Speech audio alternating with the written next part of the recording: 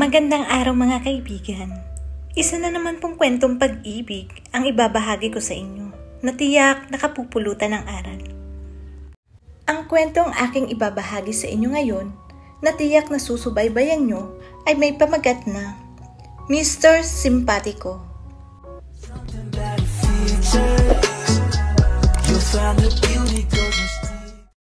Ako na ang bahala sa yaya ng bata. Madali nang pasakahin yun. Parang ipinako si Yael sa kinatatayuan niya nang marinig ang sinabi ng Kuya Jay niya. Hindi niya alam kung bakit siya kinabahan sa narinig.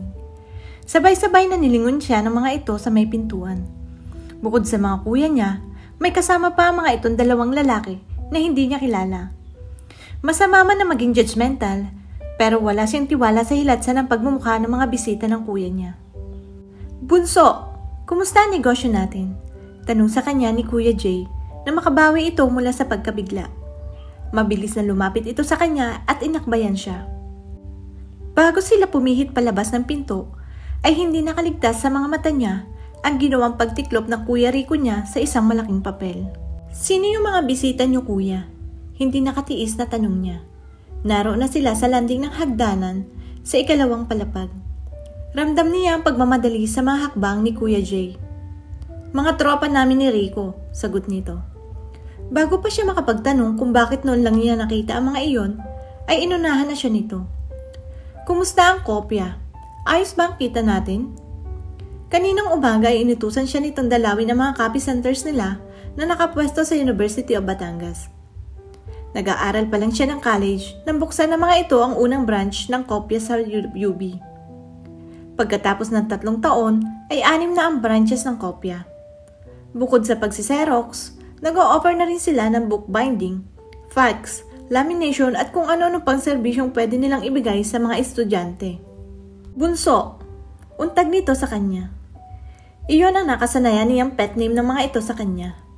Maging ang mga yumaong magulang nila ay ganun din ang tawag sa kanya nung nabubuhay pa ang mga ito. Ayos lang kuya. Nagpa-inventaryo ako kanina ng mga stocks natin ng supplies. Itinawag ko na rin ng mga suppliers natin ng mga kulang nating stocks. Pagbabalita niya. Good. Maaasahan ka talaga bunso. Saka lang niya na-realize na nasa tapat na pala sila ng pinto ng kwarto niya. Nang makita ang binuksan nito iyon. Kamusta naman yung negosyo ninyo ni Gary? Ang tinutukoy nito ay ang talya na binuksan nila ng best friend niyang si Gary sa May, Laguna area. Kaklase niya si Gary sa UST, kung saan sila parehong nagtapos ng mechanical engineering. Dalawang taon na ang nakalilipas. Ayos naman ang takbo kuya. Balak naming magbukas ng isa pang branch sa Laguna. Gusto naming madagdagan ng mga kliyente namin. Sige lang, ituloy niyo lang ang mga balak ninyo. Kung kulang sa puhunan, magsabi ka lang. Kami ni Rico ang bahala sa iyo. Malaki pa naman ang natitiran sa perang ibinigay ninyo sa akin, kuya. Sagot niya. Nang magtapos siya ng college ay nagulat sila dahil bukod sa regalong bagong kotse ay inabutan siya ng mga ito ng isang passbook. Mas ikinagulat niya ang halagang nakalagak doon. Tatlong milyong piso. Iyon ang ginamit niyang pang, pang sosyo kay Gary para maitayo ang talyer nila. Ang talyer. Hindi niya masyadong iniisip dati kung saan kinuha ang mga ito ang halagang iyon. Masisipag at maabilidad ang mga ito. At kahit noon pa marami ng racket ang mga ito. Pero ngayon ay gusto niyang alamin kung ano ang mga racket na sinasabi ng mga ito. Hindi na maganda ang kutob niya. Huwag mo nang galawin ang pera mo. Magsabi ka na lang sa amin ng kuya Rico mo. Kami na ang bahalang mamuhunan sa balak ninyong pagbabranch out. Tumango na lang siya. Pagkatapos nitong tapikin ang balikat niya, ay lumabas na ito ng kwarto na tila sadyang inihatid lang siya rito doon. Pabagsak na humiga siya sa kama. Ayaw niyang mag-isip ng masama. Pero iba na talaga ang kutob niya sa pinagkukunan ng pera ng mga kapatid niya. Nagsimula ang pagdududa niya tatlong buwan na ang nakararaan nang umuwi ang mga ito na may tama ng baril ang kuya Rico niya sa balikat. Ang kwento ng mga ito, natamaan daw ito ng ligaw na bala sa paghahunting ng mga ito ng mga usa sa kabundukan Mount Anahaw. Hindi na nag-elaborate pa mga ito kung ano na ang pag-uusisang gagawin niya. Nakadagdag pa sa pagdududa niya ang madalas na pagkawala ng mga ito. Kung minsan ay ilang araw lang, pero mas madalas na ilang linggong mawawala ang dalawa. At tuwing babalik ang mga ito, laging nag-uumapaw ang pera. Tuwing magtatanong naman siya, ay laging paiwas ang sagot ng mga ito. Kahit minsan ay hindi siya isinama ng mga ito sa mga racket na sinasabi ng mga ito. Ayaw niyang mag-alaga ng pagdududa sa dibdib niya tungkol sa mga racket na iyon. Ayaw niya magkaroon siya ng pagdududa sa mga kapatid niya. He owed it to them. Dahil mula na maulila sila sa kanilang mga magulang nung elementary pa lang siya, ay ang mga ito na nagtaguyod sa kanya. Mula sa pagkain sa araw-araw, sa pag-aaral at pati ang pagluho niya sa katawan, ay sinagot ng mga ito ng walang angal. Literal na mga ito ang bumuhay sa kanya. Kaya mag-iimbestiga siya, patutunayan niya na ang kanyang sarili na mali ang hinala niya. Parang minamaso ang dibdib ni Yael. Maingat ang ginawa niyang paglapit sa tila abandonadong warehouse na iyon. Kanina pa siya naroon pero hinintay muna niyang kumalat ang dilim sa paligid. Sinundan niya ang kotseng minamaneho ng kuya Rico niya at doon sila humantong. Alam niyang sakop na ng Bulacan ang lugar na iyon base na rin sa mga nadaanan niyang signs kanina. Bumalik na lang siya roon pagkatapos dalhin ang sariling kotse sa isang mumurahing motel na daanan niya kanina. Hindi naman siya magtatagal doon. Gusto lang niyang malaman kung ano ang ginagawa ng mga kapatid niya. Saglit na nagdalawang isip siya kung itutuloy pa niya ang ginagawang pagmamamanman sa mga ito. Hindi na maganda ang pakiramdam niya sa maaaring kahantungan na pag-imbestigan niya. Ano naman kasi ang posibleng maging magandang dahilan ng mga ito para pumunta sa ilang lugar na iyon. Kung legal na racket ang tinatrabaho ng mga ito, bakit nagtatago ang mga ito roon?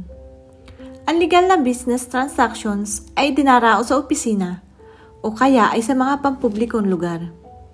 Mula sa pinagkukublihan niyang mga halaman ay narinig niya ang mahihinang usapan. Nabosesa niya ang kuya Rico niya. Sumilip siya mula sa pinagtataguan. Dalawang lalaki ang kausap nito. Sa tulong ng liwanag na nanggagaling sa loob ng warehouse, ay namukhaan niyang ang mga ito rin ang bumisita sa bahay nila roon. Kung magkakabulyaso man, alam niyo na kung ano ang gagawin ninyo. Magkita na lang tayo sa dating lugar. Dalawang buwan mula ngayon. Kung maayos naman ang maging resulta ng negosasyon, alam niyo na rin kung ano ang dapat ninyong gawin. Araglado bossing, sagot ng isang kausap nito. Nagkamayan at nagyakapan pa mga ito bago naghiwa-hiwalay. Sumakay sa pick-up truck ang dalawa samantalang pumasok na uli sa loob ang kuya Rico niya. Ilang sandali pa ay may isang lalaking nakaitim na jacket ang lumabas at pumwesto sa pinakabungad ng warehouse. Ito siguro ang lookout. Nagpalipas pa siya ng may kalahating oras bago pagapang na lumapit sa sarang bintana sa pagilid ng warehouse. Ingat na ingat siyang huwag makalikha ng kahit na anong ingay. Malakas na malakas ang tibok ng puso niya. Hindi pa siya nakaramdam ng ganoong kalaking takot sa buong buhay niya. Hindi siya natatakot sa maaaring kahitatna ng buhay niya. Mas lamang ang takot niya sa maaaring matuklasan tungkol sa mga iniidulang kapatid. Sumilip siya sa bintana Mula roon ay nakita niya ang dalawang kuya niya. Magkaharap ang mga ito sa isang bilog na mesa. Di kalayuan ng mga ito ay may tatlo pang lalaking pawang may dalang mahahabang armas. Nakapalibot ang mga ito sa dalawang taong nakatali sa magkatalikod na silya. Ang isa ay bata at ang isa ay babae. Parang may bakal na pimiga sa puso niya. Pinagampusan siya ng hininga nang sumandal sa dingding. Hindi na niya kailangan magtagal pa roon para malaman ang lahat. Sapat na ang mga nakita niya. Kinalma niya ang sarili bago nagsimulang gumapang. Kung gaano kaingat siya lumapit sa bintana, ay ganun din kaingat siyang lumayo roon. Kinasihan siguro siya ng Diyos dahil nakalayo siya sa lugar na iyon na walang nakapansin sa kanya. Hindi na niya alam kung paano siya nakabalik sa motel na pinagdalhan niya ng kanyang kotse. Wala sa sariling pumara siya ng tricycle kanina pagkatapos ng mahaba-habaring paglalakad palayo sa warehouse. Yanig pa rin siya sa kanyang natuklasan. Mga miyembro kung hindi man pinuno ng isang kidnap o ransom syndicate ang mga kapatid niya. Hindi niya alam kung ano ang nararamdaman niya. Halo-halo ang damdaming sumisikat sa puso niya. Takot, galit, panghihinayang. Pero nanaig ang kagastuhan niyang maituwid ang masamang gawain ng mga kapatid. Ayaw niyang magwakas sa malagim na paraan ang buhay ng mga ito. Ayaw niyang matulad ang mga ito sa kinahinatnan ng mga miyembro ng notorious ng sindikato na nagwakas sa mga buhay sa malagim na shootout o salvage. Nilampasan ni Yael ang kuya Jay niya pagkatapos siyang pagbuksan nito ng pinto. Bahagyang bumuhay ang mga tuhod niya nang humakbang siya papasok. May problema ka ba, Yael? Narinig niya tanong nito. Umiling lang siya. Ni hindi niya ito nilingon. Nasa may hagdang na siya nang magsalita uli ito. Kung wala kang problema, bakit halos gabi-gabi kang lasing? Nag-aalala na kami ng kuya Rico mo. Ayos lang ako kuya, sagot niya. Mahigit isang buwan na nakalilipas mula na matuklasin niya ang tunay na racket ng mga ito. Ilang beses na niyang binalak na kausapin ang mga ito para sabihing alam niya na ang tungkol doon. Pero tuwing ang ungkatin niya ay naduduwag siya. Hindi niya alam kung paano siya mag-uumpisa. Tuwi na ay sumasalit sa isip niya ang mga nagawa ng mga ito para sa kanya. Bunso, nakaagapay na ito sa kanya sa may hagdan. Dama niya ang matamang pagtitik nito sa kanya. Sinalubong niya ang mga mata nito. Alam niyang iyon na ang pagkakataon niya para kausapin ito Palagi siyang umiinom dahil gusto niya magkasumpong ng tapang mula sa alak. Pero tuwing makakaharamdapan niya, kahit sino sa mga ito ay nawawala rin ang tapang niya. May problema ka bunso? Sabihin mo sa akin, baka sakaling makatulong ako. Babae ba? Nag-away ba kayo ni Wena? Inakbayan siya nito habang pumapanhik sila sa hagdan. Umiling siya. Girlfriend niya tinutukoy nito. Magpalit ka na ng damit. Susunod ako sa iyo sa kwarto mo. Ipagtitimpla kita ng kape. Humugot siya ng malalim na hininga kasabay ng pagtango. Mabigat ang mga paa niya nang pumanhi. Nang marating niya ang kanyang kwarto ay pabagsak na humiga siya sa kama. Sa ganoong posisyon na siya napasukan ni Jay. Kasunod dito ang kuya Rico niya na halatang kagigising lang. Bakit hindi ka pa nagpapalit ng damit? Tanong ni Kuya Jay. Inilapag nito ang tasa ng kape sa study table niya. Bakit kape ang inakyat mo rito, Tol? Teka muna, kukuha ako ng long nights sa baba, sabi ni Kuya Rico. Huwag na, Kuya. Pigil nito. Mas masarap mag-usap habang umiinom. Ewan ko ba naman sa'yo kung bakit nagsosolo ka? Sabi ni Kuya Rico. Ano ba talagang problema mo? Nag-aalala na kami ni Utol sa'yo. Nagpakawala siya ng malalim na hininga. Hindi na rin naman niya kayang itago pa sa mga ito ang nalalaman niya. Sa bawat araw na lumilipas na kinikimkim niya ang natuklasan, ay bumibigat ang pakiramdam niya. Kung hindi niya sasabihin sa mga ito, baka tuluyang kumalat ang lasong iyon sa katawan niya at mawala ang respeto niya sa mga ito. Alam ko na ang tungkol sa racket niyo, Anya. Nagkatinginan ng mga ito. Biglang umupo sa gilid ng kama niya si Kuya Jay. Ano ang alam mo, bunso? Tanong nito. Hindi nito nagawang itago ang panik sa boses nito. Alam ko na kung saan galing ang pera natin. Alam ko nang hindi legal ang pinagkakakitaan ninyo. Matatag na sabi niya. Nagpalipat-lipat ang mga mata niya sa dalawa. Agad na bumakas ang guilt sa mga mukha nito. Si Kuya Rico ay tila naghihinang umupo sa computer chair niya. Nakakatensyong katahimikan na pamagitan sa kanila. Ano ang alam mo? Maya-maya ay tanong ni Kuya Jay. Tol, Saway ni Kuya Rico dito. Huwag na nating alamin kung ano ang alam niya. Ang importante ay manahimik siya. Ano ang gagawin niyo?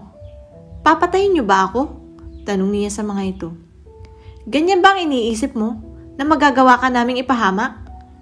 Napailing siya. Nanunumbat ang boses ni Kuya Jay.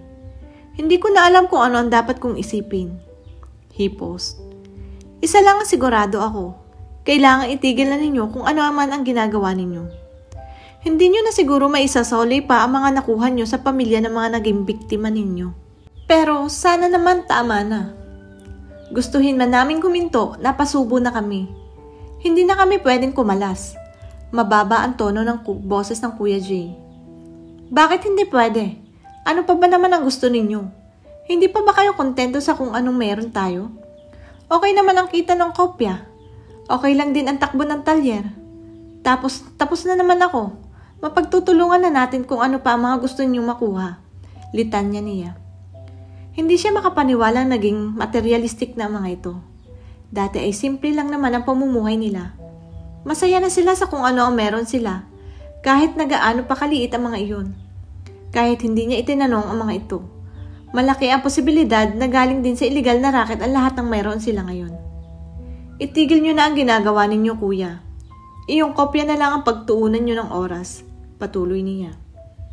Hindi mo naiintindihan niya, El. Alin ang hindi ko naiintindihan? Ipaliwanag niyo sa akin. Mas makabubuti para sa'yo kung mananahimik ka na lang. Hindi ka namin masasagot kapag may ibang nakaalam na may alam ka. Hindi niya pinansin ang takot na nang ibabaw sa boses ng Kuya Jay. Kapag hindi kayo kusan tumigil, isusuplong ko kayo sa mga pulis. Matigas na pahayag niya. Abat tarantadong to ah. Tinatakot mo ba kami? Padabog na tumaya si Kuya Rico.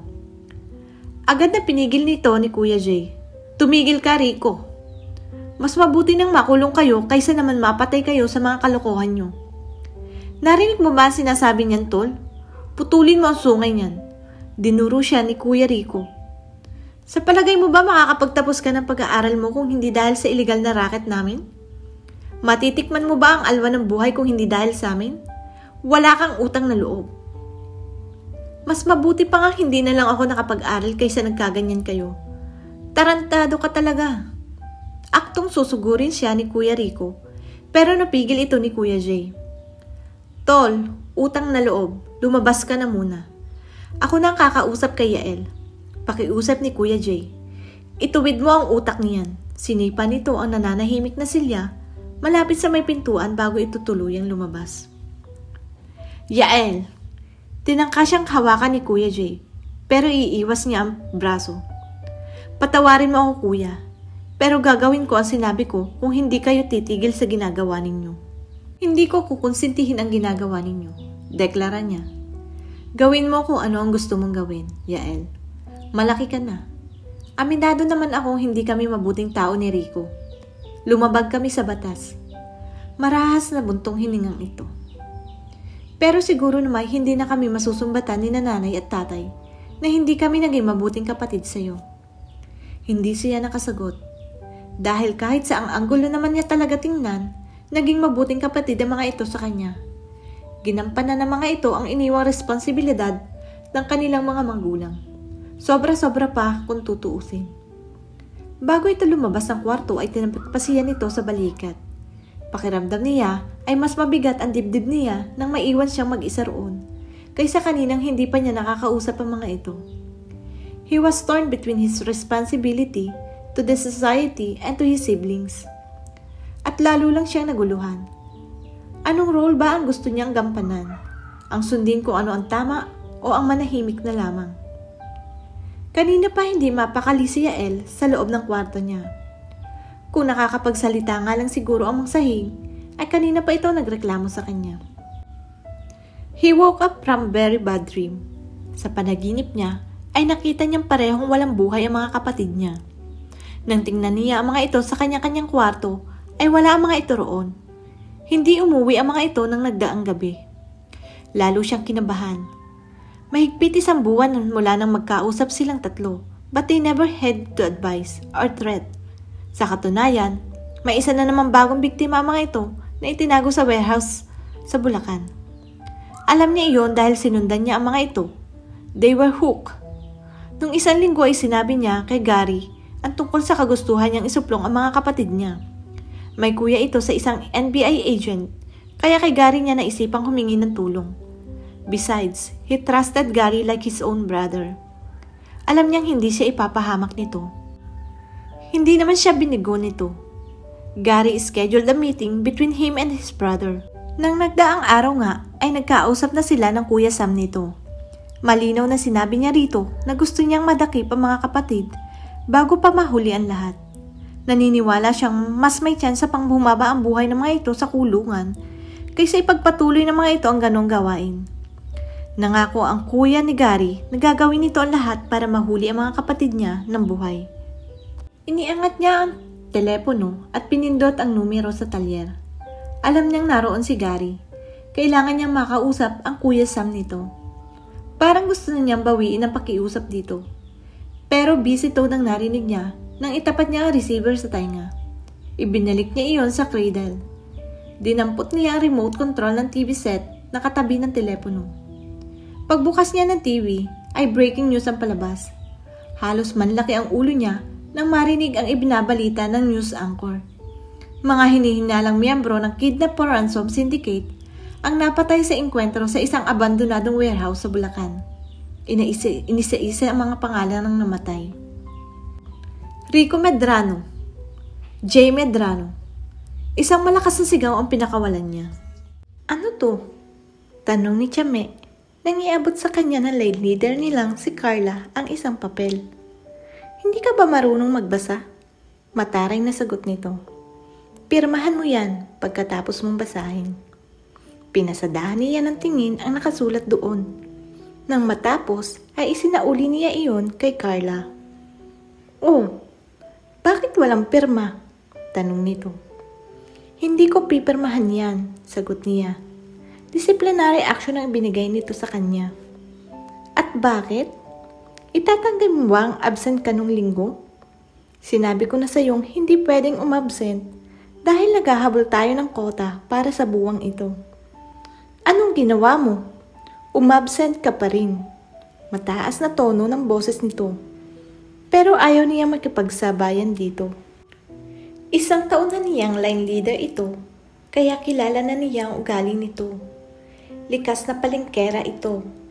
Marami na itong nakaaway sa linya nila sa production, pero siya ang lumalabas na pinakababorito nito. Wala yatang linggo ang lumilipas na hindi siya sinesermonan nito.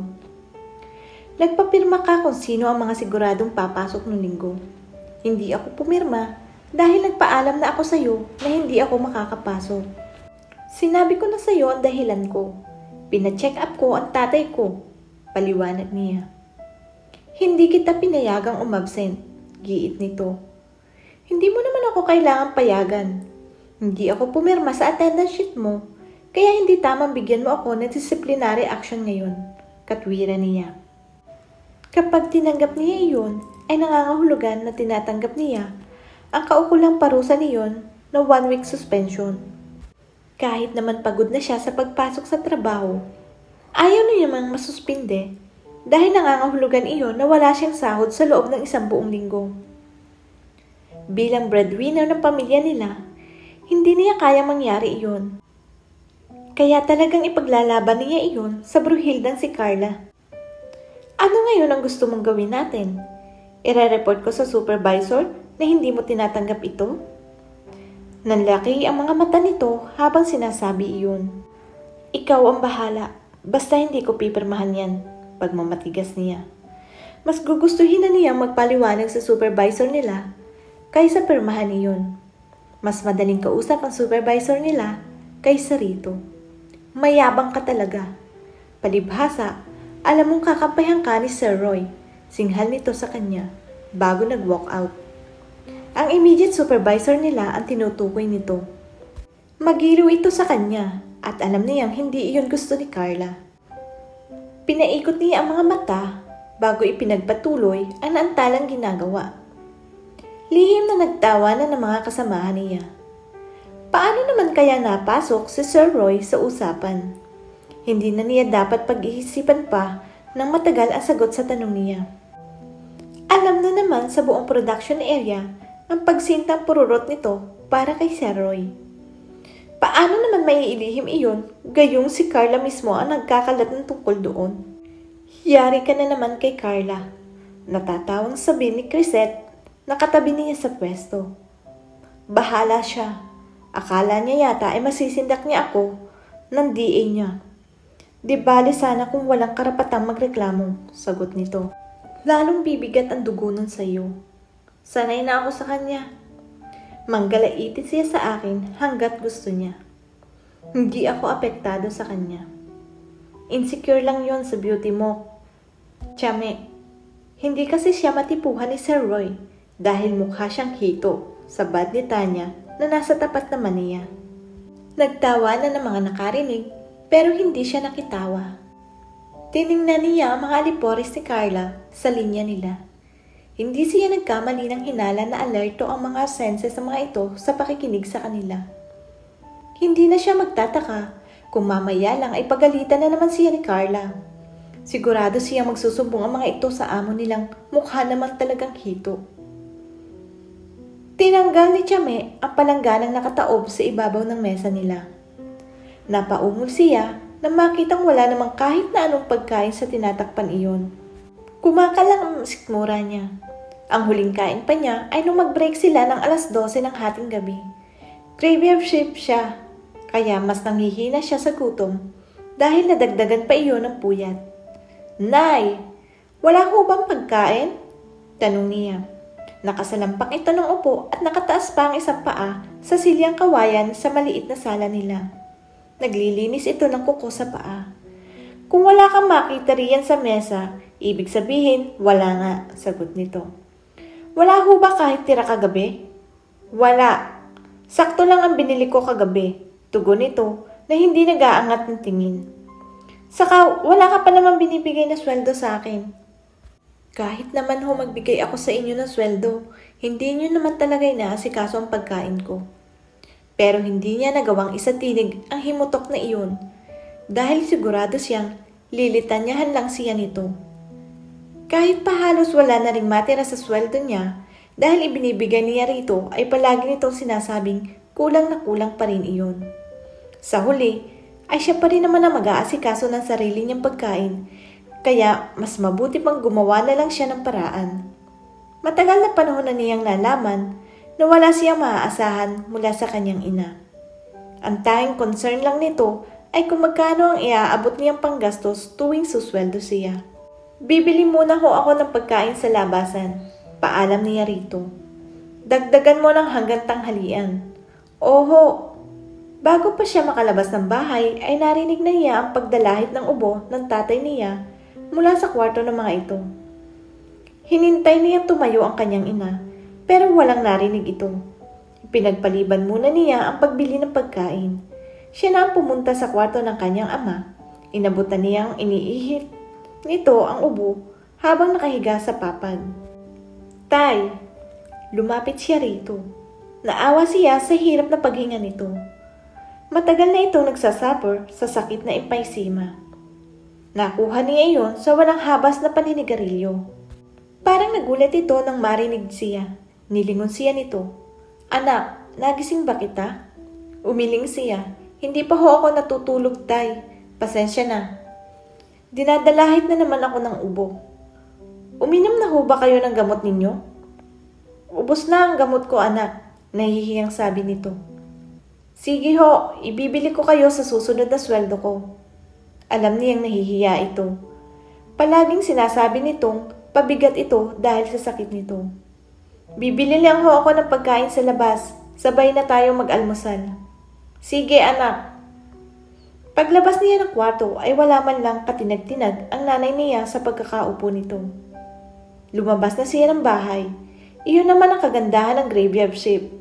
Dahil umaga ang uwi niya, kaya sigurado siyang may mabibilhan ng pagkain. Naranasan niyang mag-bishop, dusa talaga siya sa gutom. Iyon yung tipong 10 o'clock ang labasan kaya sarado na lahat ng tindahan. Ang siste, itinutulog na lang niya ang gutom niya. Chame!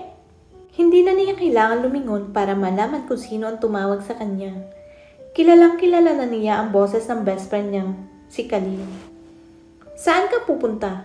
Tanong nito sa kanya. Nakaagapay na ito sa paglalakad niya. Bibili ako ng pagkain kay Aling Chabeng, sagot niya. Ano ba yan? Ikaw na nagtatrabaho, ikaw pa rin ang bahala manghagilap ng kakainin mo? Ano pa ang ginagawa ng mga tao sa bahay ninyo? Napapalatak na komento nito. Saka pa lang niya ito tiningnan. Para namang hindi tayo pareho ng kapalaran sa mga pamilya natin. Hindi ito kumibo. Alam niya tinamaan ito sa sinabi niya. Pareho kasi sila ng katayuan. Pareho silang walang halaga sa kanya-kanyang pamilya. Parehong walang amor sa kanya ang mga iyon. Sa parte niya, ay tatay lang niya ang may malasakit sa kanya, kahit papaano. Ang nanay niya at ang kapatid niya si Tasha ay magkakampi. Sa parte naman ni Khalil, ay ang nanay lang nito ang kakampi niya. Natahimik na ito hanggang sa marating nila ang pwesto ni Aling Chabeng. Tiningnan niya ang laman ng mga kaldero. Isang order ng sinigang, isang bopis, at dalawang kanin. Napansin niya tahimik pa rin ito kaya siniko niya ito. Hoy, huwag mong sabihing napikon ka. Umiling ito. May iniisip lang ako. Ano yon? Iniisip kong mag-resign na sa trabaho Nagpipintura ito ng mga sasakyan sa Car Motors, isang pabrika rin sa loob ng Laguna Technopark. Bakit ka magre-resign? Mahirap humanap ng trabaho ngayon. Regular na ito sa Car Motors. Maganda naman ang benepisyo sa kumpanya nito, kaya wala siyang makita dahilan para magbitiw ito sa trabaho. May plano kaming magtayo ng negosyo ni Nayael. Otomatikong kumabog ang dibdib niya Pagkarinig sa pangalan na sinabi nito, siguradong kakantsawan na naman siya nito. Gusto tuloy niyang pagsisihan ang ginawa niyang pag-amin dito tungkol sa damdamin niya para sa kaibigan nito. Ano namang negosyo? Tanong niya. Napangiwi siya nang muntik pa siyang mautal sa tatlong salitang iyon. Saka mo naman nalaman. Pamisteryosong sagot nito. Ano naman ang alam ni Yael sa pagninegosyo? Hindi niya napigilang sabi. Mabuti pa, siya na lang ang tanungin mo. Sagot nito. Yael! Marahas na nilingon niya ang direksyong kinakawayan nito. Umasa siya hanggang sa kahuli-huli ang sandali na binibiro lang siya nito. Pero nang makita niya ang papalapit sa kanilang si Yael, gusto niyang sabunutan si Khalil. Alam niyang gusto na naman siyang ilagay nito sa hotspot. Minsan tuloy ay gusto niyang magduda kung kakampi ba o kalaban nito. Alam niyang madalas na sinasadya nitong magkalapit sila ni Yael. Pero mabuti naman kung accommodating ang kaibigan nito. Ang kaso, nuknukan ng suplado si Yael. Ni hindi siya pinapansin nito tuwing magkakaharap sila. May tatanong daw sa iyo si Chame. Sabi ni Khalil na makalapit sa kanila ang binata. Tiningnan niya ng matalim ang kaibigan. Kung hindi ba naman, talagang nananadya ito. Ano yun? Formal na tanong ni Yael sa kanya. She inhaled sharply as he looked at her. Tingin niya ay lalong umitim ang mga mata nito habang nakatingin sa kanya. At talagang pampadagdag stress ito sa kanya. Lalo siyang natetense kapag malapit ito. Laging ganon ang epekto nito sa kanya. Bagay na hindi niya maintindihan dahil mas madalas na hindi ito nagsasalita man lang. If only he would smile more often. Sigurado siyang mas marami siyang makakaribal dito sa lugar nila. Anong itatanong mo, Chame? Mahuhuli na ako sa trabaho ko. Ikinagulat niya ang pagtawag nito sa pangalan niya. So, alam pala naman ito ang pangalan niya.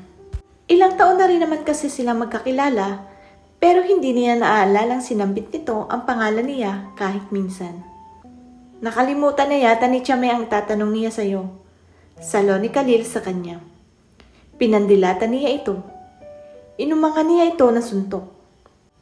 Saka mo na ako kausapin kapag naalala mo na. Ani ni Yael. Saka ito bumaling kay Khalil. Mauuna na ako. Malalate na ako sa trabaho ni hindi man lang ito nagpaalam sa kanya. Sinundan niya ito ng tingin. Kahit na anong pigil niya, kusang gumalaw ang mga mata niya para habulin ito ng tingin. Yael walked like he owned the place. Kahit na nakatalikod ito sa kanya, parang nakikita pa niya ang formal na mukha nito. Makakapal ang kilay nito. Maitim ang mga mata. Matangos kaysa karaniwan ang ilong at laging magkalapat ang mga labi. Sa kabila ng supladong aura nito, hindi maiikailang gwapo ito. Para pa nga naging asset pa nito ang kasupladuhang iyon dahil nakadagdag iyon sa mysterious aura nito. Yael Medrano was every inch a man. He was tall, dusky, and gorgeous. She was attracted to him the first time she laid her eyes on him. Dayo lang ito doon. Apat na taon pa lang ito roon sa lugar nila. Naging kaibigan ito ni Khalil Pero never na naging close siya rito. Hindi dahil ayaw niya maging kaklose ito. Sa katunayan, kabaligtaran niyon ang gusto niyang mangyari. Pero ito ang naglagay ng pader sa pagitan nila. Kahit minsan ay hindi ito nagtangkang buwagin ang pader na iyon. Kaya El, totoo ang klasikong linya na. So near, yet so far. Aray ko. Hinimas niya ang brasong hinampas ni Khalil. Nang tingnan niya ito, ay nakangisi ito sa kanya. Natulala ka na riyan. Hindi niya ito pinansin. Dumukot siya ng pera sa bulsa at iniabot ang bayad niya kay Aling Chabeng. Bagay na bagay talaga kayo ni Khalil Chame. Abay kailan ba kami magkakahigop na mainit na sabaw? Panunokso ni Aling Chabeng. Malabong mangyari yon Aling Chabeng. Ano yan na sinamangutan ito? Baka magkamali pa ng sagot si Khalil ay mabuking pa siya ni Aling Chabeng. Hindi kami talo nito. Sagot ng binata at saka inakbayan na siya. Nang malayo na sila sa tindahan, ay saka siya pilit na kumakawala sa pagkakaakbay nito. Nakakainis ka talaga. Bakit tinawag mo yung Yael na yun? Eh, may gusto kang ang tanong sa kanya, di ba? Nagkataon namang palabas din siya, kaya tinawag ko na. Painosending sagot nito. Nagkandahaba ang nguso niya. Gusto mo lang akong ipahiya eh. Ano ba namang... Ano ba naman yun? Gusto ka mo kitang ipahiya? Gusto ko lang namang magkalapit kayo ni Yael. Binigyan pa nga kita ng pabor kung tutuusin, di ba? Kaya huwag ka namang magalit sa akin. Ngumisi ito. Ano? Ayos ba? Natitigan mo bang mabuti? He, magtigil ka nga riyan. Kinurot muna niya ito sa tagiliran bago binilisan ang lakad. Hindi na niya pinansin ang pagtawag nito sa kanya. Sigurado rin namang hindi siya makakasagot sa panunukso nito. Bistado siya ni Khalil. Kahit na ilang ulit niyang sabihin dito na wala na siyang gusto kay Yael, ayaw nitong maniwala sa kanya. Bumuntong hininga siya. Mula pa pagkabata ay magkakilala na sila ni Khalil. Kaya alam niyang hindi talaga uubra dito ang pagsisinungaling niya. Hindi niya ito basta mapapaniwala na wala na siyang gusto sa kaibigan nitong ubod ng suplado. Dahil kahit sarili niya ay hindi na niyang kayang kumbinsihin. Pagpasok pa ni Yael sa garahe ng pinagtatrabahuhan niyang talyer, ay sinalubong na siya ni Girlie. Umiimbay ang mga balakang nito habang naglalakad palapit sa kanya. Good morning, Yael. Malambing na bati nito sa kanya. Morning, ma'am. Ganting bati niya. Asawa ito ng may-ari ng talyer. Ma'am ka naman dyan. Sinabi ko ng girly na lang ang itawag mo sa akin. Lumabi pa ito na sabihin iyon. Mapulang mapula ang mga labi nito. Kumapit pa ito sa braso niya pagkatapos. At hindi lang basta kapit ang ginawa nito. Idinikit pa nito ang gilid ng dibdib nito sa braso niya. Kanina pa kita hinihintay. Muntik na naman akong itirik kahapon ng kotse ko. Hindi na niya ikinagulat ang sinabi nito. Sa loob yata ng anim na buwan, ay mahigit sampung beses nitong inareklamo ang kotse nito. Alam niyang na nagdadahilan lang ito. Dahil tuwing titingnan naman niya iyon, ay wala naman siyang makita ang diferensya niyon. Titingnan ko na lang kung ano ang diferensya, ma'am. Ma'am na naman. Nakakainis ka na talaga, Yael. Pero wala namang bakas ng kahit kaunting inis ang boses nito. Bedroom boys pa nga ang dating niyon. Iginiya siya nito papunta sa puting Toyota Corolla nito. Napabilis ang hakbang nito nang makitang tinitingnan na kasamahan niyang si Elmer ang makina ng kotse nito. Hoy, anong ginagawa mo riyan? Sita nito kay Elmer. Tinitingnan ko ang makina mo. Wala naman ako makitang problema. Sagot ni Elmer. Muntik na akong itirik niyang kahapon. Paano mo nasabing walang problema? Umalis ka nga dyan? Si Yael ang gusto kong tumingin niyan. Nakikialam ka. Dati naman ako ang tumitingin ng kotse mo ah, sagot ni Elmer. Dati yon. Si Yael na ang gusto kong regular na mag-check sa kotse ko. Siya na ang personal mekaniko rito. Aktong sasagot pa si Elmer, ngunit inunahan na ito ni Girlie. Bumalik ka na sa trabaho mo. Si Yael na ang titingin sa kotse ko. Tinapunan siya ng masamang tingin ni Elmer bago ito umalis. Alam niyang ever since ay mabigat na ang dugo nito sa kanya. Bagaman wala siyang kaklose sa mga kasamahan niya roon, aware naman siya sa chismis na ito ang dating paborito ni Girlie doon. Mula nang pumasok nga siya roon, ay sa kanya nabaling ang pansin ng babae. At kahit na hindi siya pinapatulan ang tahasang pagpaparamdam sa kanya ni Girlie, alam niyang ayaw ni Elmer sa presensya niya roon. Pero sorry na lang ito dahil hindi siya apektado ng madalas na pagpaparunggit nito sa kanya. He had stopped caring about what people thought about a long time ago. And definitely, he would not start caring now. Magtatrabaho na ho ako, ma'am. Paalam niya kay Girlie. Para kasi wala itong balak na pakawalan ang braso na. Sige lang. Anito at pinisil pa ang braso niya ng mariin bago iyon pinakawalan. Tiningnan niya ang makina ng kotse nito. Kagaya ng inaasahan niya, ay wala rin siyang makita diferensya roon. Pinaandar pa niya ang makina para ipakita ritong walang problema ang sasakyan nito. Umandar iyon in one click. Pagkatapos patayin ang makina, ay inabot na nito ang susi. Maayos naman ang makina ninyo, Tama si Elmer. Wala namang problema. Sabi niya. Ang galing mo talaga, Yael. Basta kapag may napansin akong diferensya, ikaw ang aasahan kong titingin sa makina ko ha. Inilayad pa nito ang malulusog na dibdib. Halos lumawa iyon sa suot nitong tube blouse. Bakit kaya pinapayagan ito ng asawa nito magsuot ng ganun? Tumango na lang siya rito at magalang nang nagpaalam dito. Yael! Tawag ka ni Ma'am Girlie, sabi sa kanya ni Gado. Dama niya ang sabay-sabay na paglingon sa kanya ng mga kasamahang mekaniko. Magkakasabay silang kumakain sa mahabang mesa sa likuran ng talyer. Kaya alam niyang narinig ng mga kasamahan niya ang sinabi ni Gado. Bakit daw? Patay mali siyang tanong niya. Hindi na rin bago sa kanya ang pag-anyaya ng babae dahil ilang beses na itong ginagawa iyon. Noong unang beses lang niya ito pinagbigyan dahil wala pa siyang ideya sa agenda nito. Pero nang yakapin siya nito nang walang sabi-sabi, ay hindi na siya umulit pa. Mahirap nang masakot pa siya sa gulo. Baka patitingnan sa iyo ang makina niya, sabat ni Benny. Malisyoso nagtawanan ng mga kasamahan niya. Padabog na tumayo si Elmer. Halatang hindi ito amused sa takbo ng usapan. Lakad na, Yael. Baka mainip si Ma'am Girlie. Babayaan mo siya. Sagot niya na ipinagpatuloy ang pagkain sa baon niya. Naku, Yael. Kaya lalong laway na laway sa iyo si Ma'am eh. Pakipot ka lagi. Nakaka-challenge ka sa pagkababae niya. Nagtawa na na naman ang mga ito. Tahimik na ipinagpatuloy lang niya ang pagkain. Wala siyang balak na pagbigyan ng paganyaya ng maamong babae.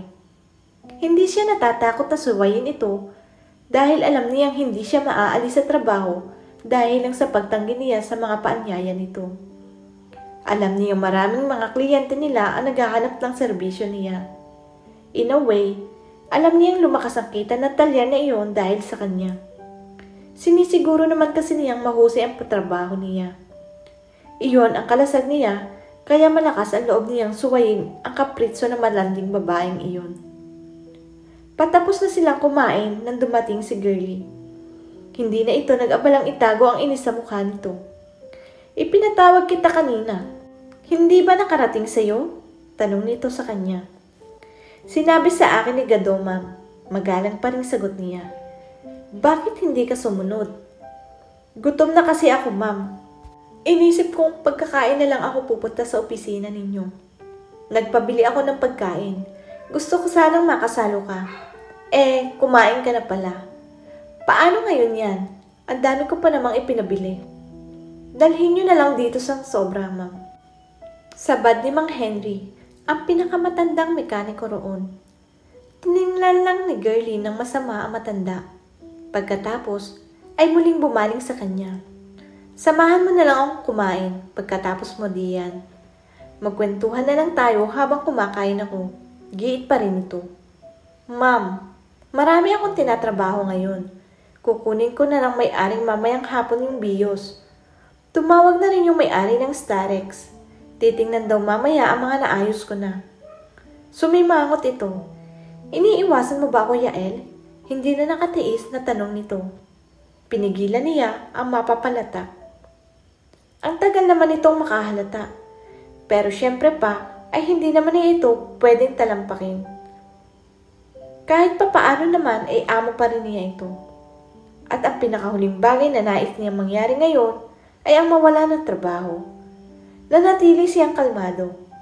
Hindi naman ho sa ganoon, ma'am. Talaga lang maraming trabaho. Ayaw ni Boss Lucky na masisira kami sa deadline na ibinibigay sa mga customers. Pangalan ng asawa nito ang binanggit niya. Siguro ay nahulasan naman ito dahil hindi na ito nagpilit pa. Padabog na lang itong umalis. Naku, Yael, mag-iingat ka riyan kay Ma'am Girlie. Baka mamaya sa katatanggi mo, mag-isip yan ng paraan para makorner ka. Kapag nag-overtime ka mamaya, bantayan mo ang likuran mo. Baka bigla ka na lang sunggaban nun. Tatawa-tawang paalala ni Mang Henry. Matipid ng ngiti lang ang sinagot niya rito. Tahimik na niyang ipinagpatuloy ang pagkain. Pagkatapos niyang kumain ay naghugas lang siya ng mga kamay at binalikan na ang nainiwang trabaho. Iwasan mo si Girlie Yael. Alam mong umiiwas ako, sagot ni Yael kay Elmer. Ni hindi siya nag-angat ng tingin dito. He need not stress the obvious. Alam mo kasi, sa tingin ko'y nagpapakipot ka lang. Nagpapataas ka lang ng presyo, kaya nagpapahabol ka kay girlie. Wala akong magagawa kung iyon ang opinion mo. Basta ako, trabaho ang dahilan kung bakit nandito ako, kaya iyon lang gagawin ko. Wala akong balak na haluan ng kalokohan at trabaho ko. Sinasabi mo bang may kalokohan akong ginagawa? Mataas ang tonong boses nito. Kabago-bago mo rito, mayabang kang umasta. Basta ako, alam ko ang mga tipo mo. Nagpapataas ka lang ng presyo kay girlie. Noon lang siya nag-angat ng tingin. Ayaw niya magkipag-away. Ngunit hindi rin niya hahayaan ang kahit na sinong insultuhin siya. Pinalampas na niya ito kanina, pero umulit pa rin ito. Ganun pa man, kailangan niya magtimpi. Humugot na lang siya ng malalim na hininga. Hindi tayo magkaaway, Elmer. Hindi rin ako nakikipagpaligsahan sa iyo o kahit kanino. Trabaho lang ang importante sa akin dito. Kung si Ma'am Girlie ang ikinagaganyan mo, siya na lang kausapin mo. Dahil sa akin, wala kang problema. Hindi ganoon ang nakikita ko. Bahala ka kung ano ang gusto mong isipin. Mayroon ka namang gustong paniwalaan, kaya kahit na anong sabihin ko sa iyo, hindi mo rin pakikinggan. Bigla siyang sinuntok ni Elmer sa kanyang balikat. Pumihit siya paharap dito. Ano ba talaga ang gusto mong mangyari? Gusto mong magpatayan tayo dahil sa babaeng iyon na hindi, ko naman gusto? Asik niya rito. Alam mo, Elmer, kung mahal ko ang babaeng pinagkakaganyan mo, malamang na pumatol pa ako sa iyo. Pero wala akong kagusto-gusto sa nililiyag mo, kaya pwede bang tigilan mo na ako? Nakaporma na ito makikipagsuntukan sa kanya. Kung hindi lang siguro masakit ang pagkakasuntok nito sa kanya, matatawa siya sa itsura nito. Parang boxer talaga na makikipaglaban sa ring ang forma nito. May problema ba rito? Sabay silang napalingon kay Boss Lucky, ang may-ari ng talyer. Maliit na lalaki ito na lalong pinaliit ng hukot na likod nito. Manipis na ang buhok nito Malaki ang tanda nito kay Girlie. Sa narinig ang usapan ng mga kasama niya, halos doble ng edad nito ang edad ni Girlie. Ibinaba ni Elmer ang kamay nito. Wala po, bossing. Nagkukwentuhan lang po kami ni Yael tungkol sa mga naging lalaban ni Pacquiao. Paliwanag nito. Mabuti kung ganoon. Ayoko na nag-aaway rito sa talyer ko. Mala sa negosyo yan. Sabi nito. Sinilip nito ang makina tinitingnan niya. Ano bang lagay niyan? Matatapos mo ba yan sa biyernes? Minamadali na yan ang may-ari, Yael. Iro-road test ko na to bukas, boss. Sagot niya. Mahusay. Mahusay. Hindi talaga ako nagkamali sa pagkuha sa iyo. Anitong tinapik ang balikat niya. Bumaling ito kay Elmer na nakatayo pa rin sa likuran niya. Ikaw, ano pang ginagawa mo rito? May tinatrabaho ka pa ba? Wala na, bossing. Tumatambay lang, sagot nito. Umuwi ka na. Iniistorbo mo pa si Yael sa ginagawa niya. Wala akong pambayad ng overtime pay sa pagtambay mo rito. Uuwi na, bossing. Sige, Yael. Pagbutihin mo yung trabaho mo. Tinapik uli ni Boss Lucky ang balikat niya bago ito tuluyang lumayo na. Lumapit sa kanya si Elmer. Magaling ka talagang sumipsip. Pati si Boss Lucky, elibs na elibs sa'yo. Kung alam lang niya na balak mong asawahin ang asawa niya, pumalatak ito. Umayos ka rito, Yael. Lagi kitang binabantayan. Hindi na niya ito sinagot hanggang sa mainip na siguro ito. Itinuloy na lang niya ang ginagawa. Ayaw na niya makapagbabain pa ang usapang iyon. Sarado na ang utak nito kaya wala na rin kwenta para magpaliwanag pa siya. And in the first place, wala naman siyang kailangan ipaliwanag dito. Gabi na nakauwi si Yael sa Little Avida. Ilang gabi na siyang nag-o-overtime dahil puro rush ang ibinibigay sa kanyang trabaho sa talyer. Balak niyang bumili na lang ng lutong kanin at ulam dahil pagod na pagod na siya para magluto. Malapit na siya sa bahay niya na makasalubong niya si Chame. Panggabi pa rin pala ang ship nito. Nakaputing t-shirt at maong na pantalon nito. Sa kabila ng kasimplihang iyon, lutang ang ganda ni Chame. Ikinagulat niya iyon. Saan ang galing ang appreciation na iyon sa ganda nito? Chame was off limits. Pagdating pa lang niya noon sa Little Abida, halata na niya iyon. Alam niyang may namamagitan dito at kay Khalil. It was not official yet, but he knew it would just be a matter of time. As if it mattered to him. Nagtama ang mga mata nila ni Chame.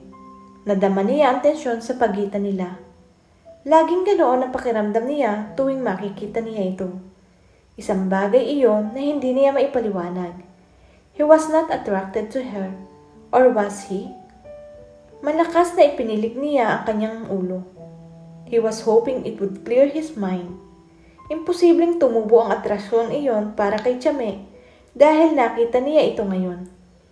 Bahagyang kumunot ang noon niya na makitang bukas na ang ilaw sa bahay niya. Pero hindi siya kinabahan. Alam niyang walang magnanakaw sa Little Avida. Itinulak niya ang pinto. Nakita niya si Khalil na nakaupo sa mahabang bangko. Isang tingin pa lang niya sa mukha nito, alam na niya may problema ito. Pero hindi na ito tatanungin. Hindi rin naman kasi siya sigurado kung sasagutin siya nito kapag nag-usisa siya. Maybe it was one thing he liked about Khalil. Hindi ito matanong na tao. Tahimik din ito pagdating sa mga impormasyong may kinalaman sa personal na buhay nito. Kaya nga siguro agad niyang nakasundo ito nung napadpad siya sa Little Avida. Komportable siya rito dahil hindi ito mausisa.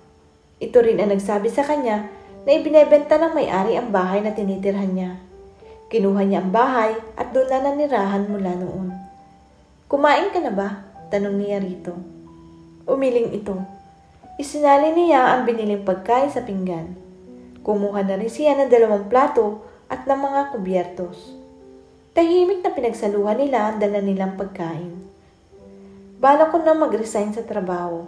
Maya-maya ay anunsyo nito. Nagpapaalam ka ba sa akin? Tanong niya.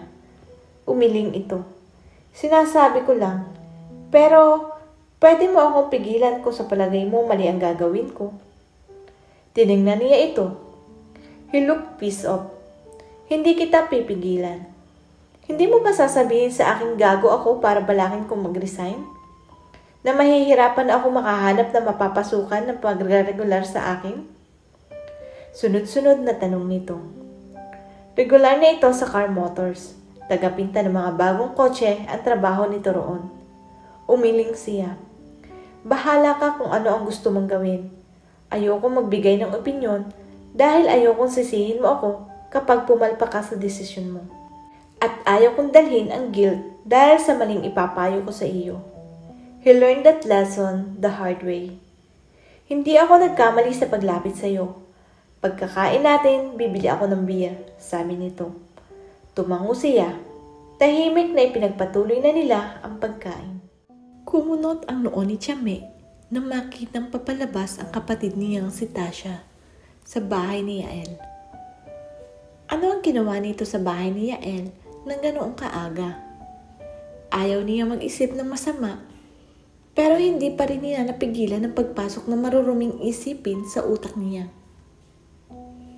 Madalas sila mag-away ni Tasha nitong mga nakaraang linggo dahil masyado itong nagiging pasaway. Talagang pinaninindigan na nito ang hindi pag-aaral. Hindi ito napipirmi sa bahay nila at puro pakikipagbarkada ang inaatupag nito. Binilisan niya ang nagpaglalakad. Inabutan niyang nakahiga sa silya si Tasha. Nagbabasa ito ng dyaryo. Ang nanay naman niya ay nag-aalmusal na sa mesa. Anong ginawa mo sa bahay ni Yael? Tanong agad niya kay Tasha. Hindi ito sumagot. Ni hindi nito inalis ang mga mata sa binabasang dyaryo. Lumapit siya rito at inagaw ang dyaryo nito. Ang aga-aga ang init ng ulo mo, Anito. Akin na nga yung dyaryo. Nakita mong nagbabasa ko eh. Tinatanong kita, ano ang ginawa mo sa bahay ni Yael? Aktong magsasalita ito, kaya inunahan na niya ito. Huwag kang magkakaila. Nakita kitang palabas sa bahay nila kanina. Pakialam mo kung galing ako sa bahay niya. Pumikit siya at bumilang ng sampo para kalmahin ang sarili. Kung hindi niya gagawin iyon, baka masampal niya ang bastos na bibig nito. Anong ginawa mo sa bahay ni Yael? Doon ako natulog kagabi. O ano, masaya ka na? Dahil sa pagkagulat, ay nagawa nitong kunin ang dyaryo sa kamay niya Parang walang anumang sumalampak uli ito sa upo ng Cecilia at nagpatuloy sa pagbabasa. Nagpapasaklolong tumingin siya sa nanay niya pero wala itong reaksyon man lang. Isinasawsaw nito ang pandesal sa kape nito at magana pa itong mumuya. Paano kaya ito nakakakain sa isinagot na iyon ni Tasha sa kanya? Subalit hindi na iyon dapat ikagulat. Mulat sa pool ay ibinibigay nito ang lahat ng gusto ni Tasha. Bihirang-bihira nitong pagalitan ang kapatid niya, kahit na puro kalokohan ang ginagawa nito. Ni hindi ito nakatapos man lang ng high school, dahil noong nasa second year ito, ay ipinasya nitong kuminto na. Kahit na anong pamimilit niya mag-aral pa ito, ay hindi siya sinunod nito. Totoo bang natulog ka sa bahay ni Yael kagabi? Tanong niya. Hindi niya narinig ang sariling boses sa lakas ng pintig ng puso niya. Hindi ka bingi. Tama ang narinig mo, sagot nito. Bakit? Ibinaba nito ang hawak na dyaryo at tinitingnan siya. Kung hindi ko lang alam na kayo na ni Kuya Khalil, iisipin kong nagseselos ka sa amin ni Yael. Ngayon niya ipinagpapasalamat na halos lahat ng tao sa Little Avida ay nag-aakalang may namamagitan nga sa kanila ni Khalil. Bakit doon ka natulog sa bahay ni Yael? Kababae mong tao nakikitulog ka sa bahay ng lalaki? Dama niya ang pag-akyat ng tugo niya sa ulo. Tatahitahimik si Yael, iyon pala ay tinitira na nito ang kapatid niya. Parang piniga ang puso niya. Alam niyang hindi lang iyon dahil sa galit. Nagsiselos siya. Nasasaktan siya Of all people, di yata't ang sarili pa niyang kapatid ang karibal niya kay Yael. Ikinagulat niya iyon. She thought she had already given up on Yael. Anong masama kung makitulog ako sa bahay ng boyfriend ko? Iyong tagabayan ang boyfriend mo, paalala niya. Ilang beses na nitong dinala sa bahay nila ang boyfriend nitong mukhang adik. Sa ilang beses niyang nakita ang lalaking iyon, hindi siya nagtangkang alamin ang pangalan niyon. Wala na kami noon. Si Yael na ang bagong jowa ko. Anong ginawa ninyo ni Yael kagabi? Nabiglang tanong niya. Ngumisi ito. Gusto mo bang idetalye ko pa sa'yo kung ano ang ginawa namin kagabi? Nang hahamon ang boses nito. Alam niyang kung tatango siya, hindi ito mangingiming ikwento sa kanya lahat. Tasha would do that just to mock her. Tinalikuran niya ito. Inilapag lang niya sa higaan ang dalambag. Tuloy-tuloy siya sa labas. Dumiretso siya sa bahay ni Yael. Kumatok siya roon. Naghintay pa siya ng ilang minuto bago bumukas ang pinto. Pupungas-pungas pa si Yael nang buksan nito ang pinto. Kung ano-ano ang pumasok sa isip niya, lalo na nang makitang gulo ang buhok nito at wala itong suot na t-shirt. Pakiramdam niya ay umakyat lahat ng dugo niya sa ulo. Anong kailangan mo? Tanong nito. Isang malakas na sampal ang isinagot niya rito. Nakita niya ang pagrehistro ng gulat sa mukha nito. Pagkatapos ay napalitan iyon ng galit. Hinawakan siya nito sa magkabilang braso. Naramdaman niyang umangat ang mga paa niya mula sa lupa. Ang sumunod na namalaya niya ay nagpabagsak na isara ni Yael ang pinto. Para sa ng sampal na iyon? Paasik na tanong nito. Madilim na madilim ang mukha nito habang nakatingin sa kanya. Umami na si Tasha tungkol sa inyong dalawa. Pasinghal namang sagot niya. Kumunot ang noo nito. Anong inamin niya? Nanunuot ang mga mata nito sa pagkakatingin sa kanya. Umiwas siya ng tingin. Nawawala siya dahil sa titig nito. Ano nga ba ang ipinunta niya roon? Napaungol siya dahil saglit na nakalimutan niya ang sadya niya rito. At iyon ay dahil lang sa makalaglag underwear na paraan ng pagtitig nito sa kanya. Mabilis na kinalma niya ang sarili. Sinabi ni Tasha na kayo na. At sabi niya ay dito siya natulog kagabi. Kung hindi totoo ang nakikita niya sa mukha nito, Iisipin niyang magaling na artista ito. He really looked utterly clueless. At naniniwala ka sa sinabi niya? Tumalim na naman ang anyo nito. Bakit ako hindi maniniwala? Wala siyang dahilan para magsinungaling sa akin. Ako ang may dahilan para magsinungaling sa'yo? Nakataas kilay na tanong nito. Natigilan siya. Masyado nga yata siya nagpabigla-bigla sa pagsugod doon. Mababa na ang tono ng boses niya nang muling magsalita. Sinasabi mo bang hindi totoo ang sinabi ni Tasha? Naninimbang na tanong niya. Nagkipit balikat lang ito bilang tugon. Bumalik ang inis niya rito. Wala man lang itong ka-effort-effort para magmukhang arugante. Parte na iyon ang supladong personalidad nito. Layuan mo ang kapatid ko, Yael. Kung hindi mo pa alam, 17 pa lang yun. Minor pa kaya? Pwede ka nang sampahan ng statutory rape. Banta niya. Excuse me? Mukhang marami kang alam sa batas ah. Sabi nito. Pero ang alam ko'y under 12 ang statutory. You probably meant seduction. Ngumisi ito sa kanya. Dahilan upang lalong namula ang mukha niya. Tingnan nga natin ang extent ng knowledge mo tungkol sa batas. Ano nga ang tawag sa batas na nilabag mo sa ginawa mong pagsampal sa akin kanina? Hindi siya sumagot. Alam niya ang physical injury ang tinutukoy nito. Nagpatuloy ito. Eh, iyong ginawa mong pagbibintang na kung ano-ano sa akin, anong kaso nga ang pwede kong isang palaban sa'yo? Slander? Oral defamation? Harassment? Idagdag pa natin yung pananakot mo sa akin na idedemanda mo ako ng statutory rape dahil lang sa sinabi ng kapatid mo na kami na. Ano tawag sa kasong yun? Muli ay hindi siya sumagot. He was obviously mocking her. Pumalatak pa ito. Makakaalis ka na, Chame. Kausapin mo mabuti ang kapatid mo para magkalinawan kayo. Kung may isyo kayong dalawa, labas ako roon. Kayo ang magkadugo. Kayo na lang ang magbabakbakan at huwag niyo nang idamay ang mga taong nananahimik na tulad ko. Hindi ito nagdalawang salita. Nang tumapat siya rito ay pinigilan nito ang kamay niya. Teka muna pala. Bakit demanda agad ang pananakot mo sa akin? Hindi ba dapat tutukan mo ako ng baril para pilitin akong pakasalan ng kapatid mo?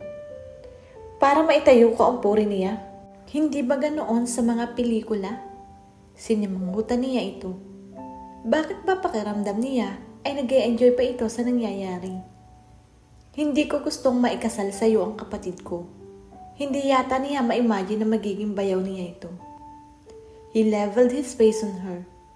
Kaunting galaw lang nila ay magkakalapat na ang mga mukha nila. Gusto niyang umatras pero nanigas na yata ang buong katawan niya. Manghang tiningnan niya ang mga labi nito. Hindi siya pwedeng dayain ng mga mata niya. Totoo ang nakikita niya. Nakangiti nga ang Herodes. Parang hinaplos ang puso niya dahil sa ngiting iyon. Kahit pa nga sarkastiko ang dating niyon. Bakit naman ayaw mo sa akin para sa kapatid mo? Gwapo naman ako. May trabaho Pinutol niya ang paglilitay niya nito. Alam na niya ang mga katangian nitong iyon. Iyon din ang mga rason kung bakit attracted siya rito in the first place. At suplado, arugante, at mayabang ka rin, dugtong niya sa sinasabi nito. Malay kong apihin mo lang ang kapatid ko. Ni hindi ko alam kung saan lupalop ka nang galing.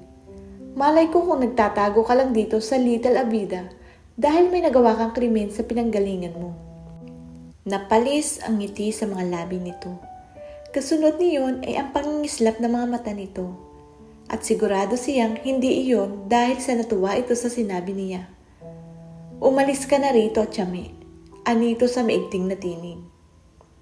Ano ang nangyari? Did she hit a sensitive nerve? Yael!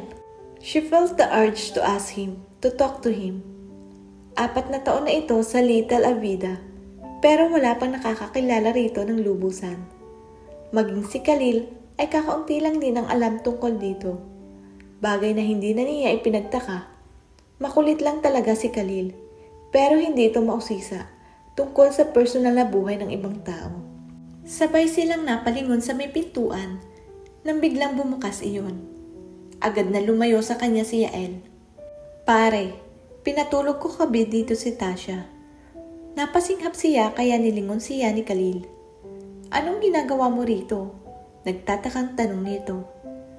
Tila nawala ang pinakamaliit na trace ng antok nito sa sistema niya nang makita siya roon. Ikaw ang nagpatulog dito kay Tasha kagabi. Halos hindi lumabas iyon sa bibig niya. Tumango ito. Nakasalubong ko kasi siya sa may labasan Kaninang madaling araw, lasing na lasing. Kumakatok ako sa inyo, kaso tulog na tulog yata ang nanay mo. Nag-alala ako na baka mabulawhaw ang tatay mo, kaya dito ko na lang pinatulog si Tasha. Alam ko kasing hindi naman uuwi si Yael kagabi, kaya iniwan ko na lang siya rito.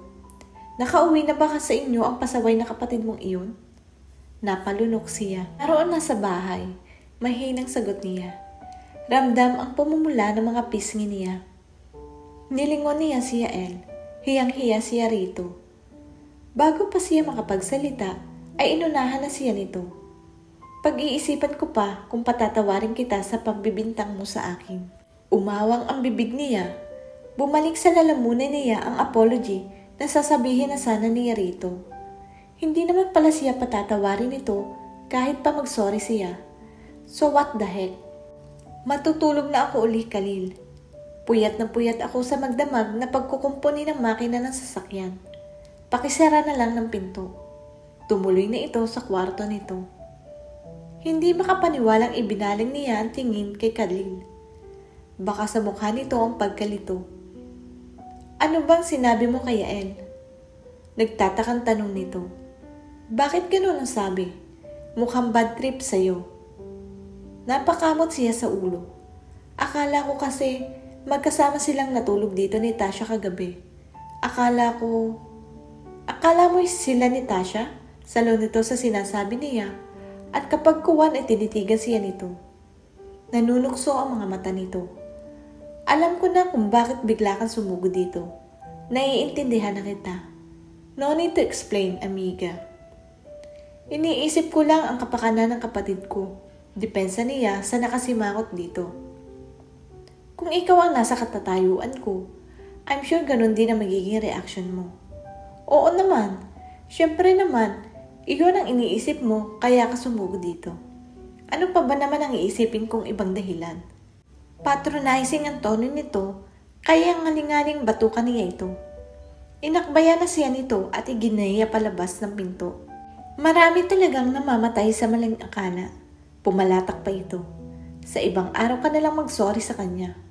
Puyat iyon kaya mainit ang ulo. Palamigin mo muna kasi. Sugod ka agad ng sugod. Para kang si Gabriela silang. Lagi rin sigurong nagseselos yun kay Diego noon kaya ganun katapang. Sa kauna-unahang pagkakataon, hindi siya nakasagot sa panunukso nito. Bakit mo sinabing magkasama kayo ni Yael kagabi? Si Tani Chame kay Tasha nang makauwi siya sa bahay nila.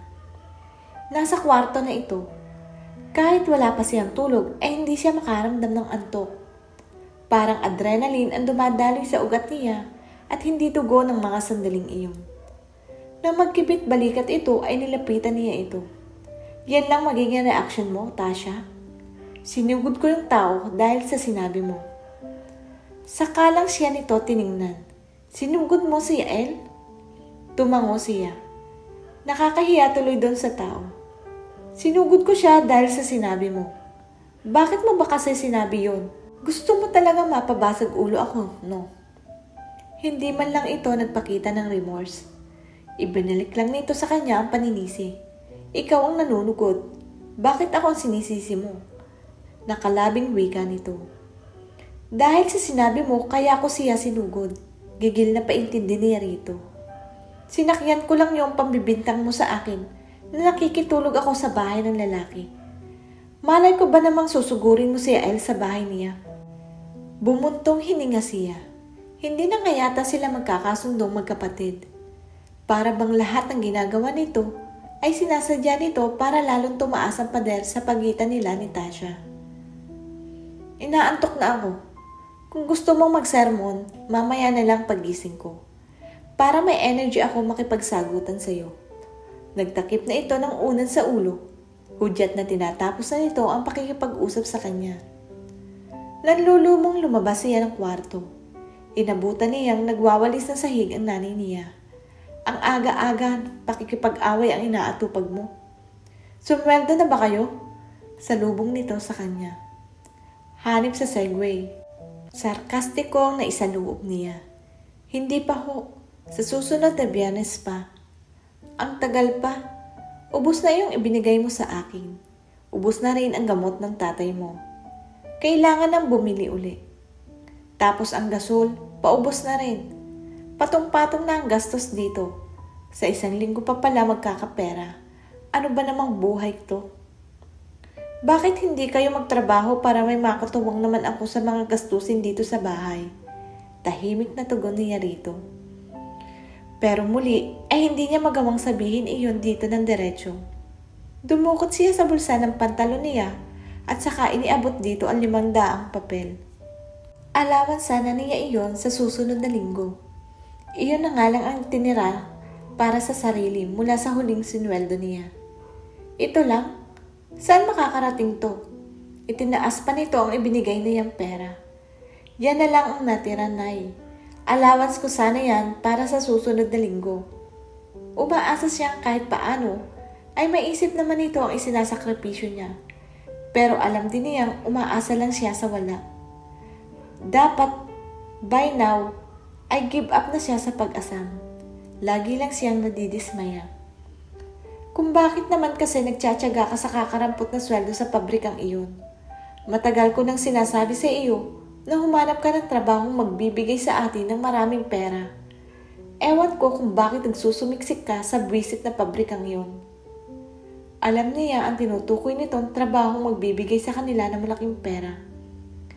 Matagal na nitong sinasabi sa kanya ang tungkol sa anak ni kumari nito na di umano ay nagtatrabaho sa isang KTV bar sa Manila.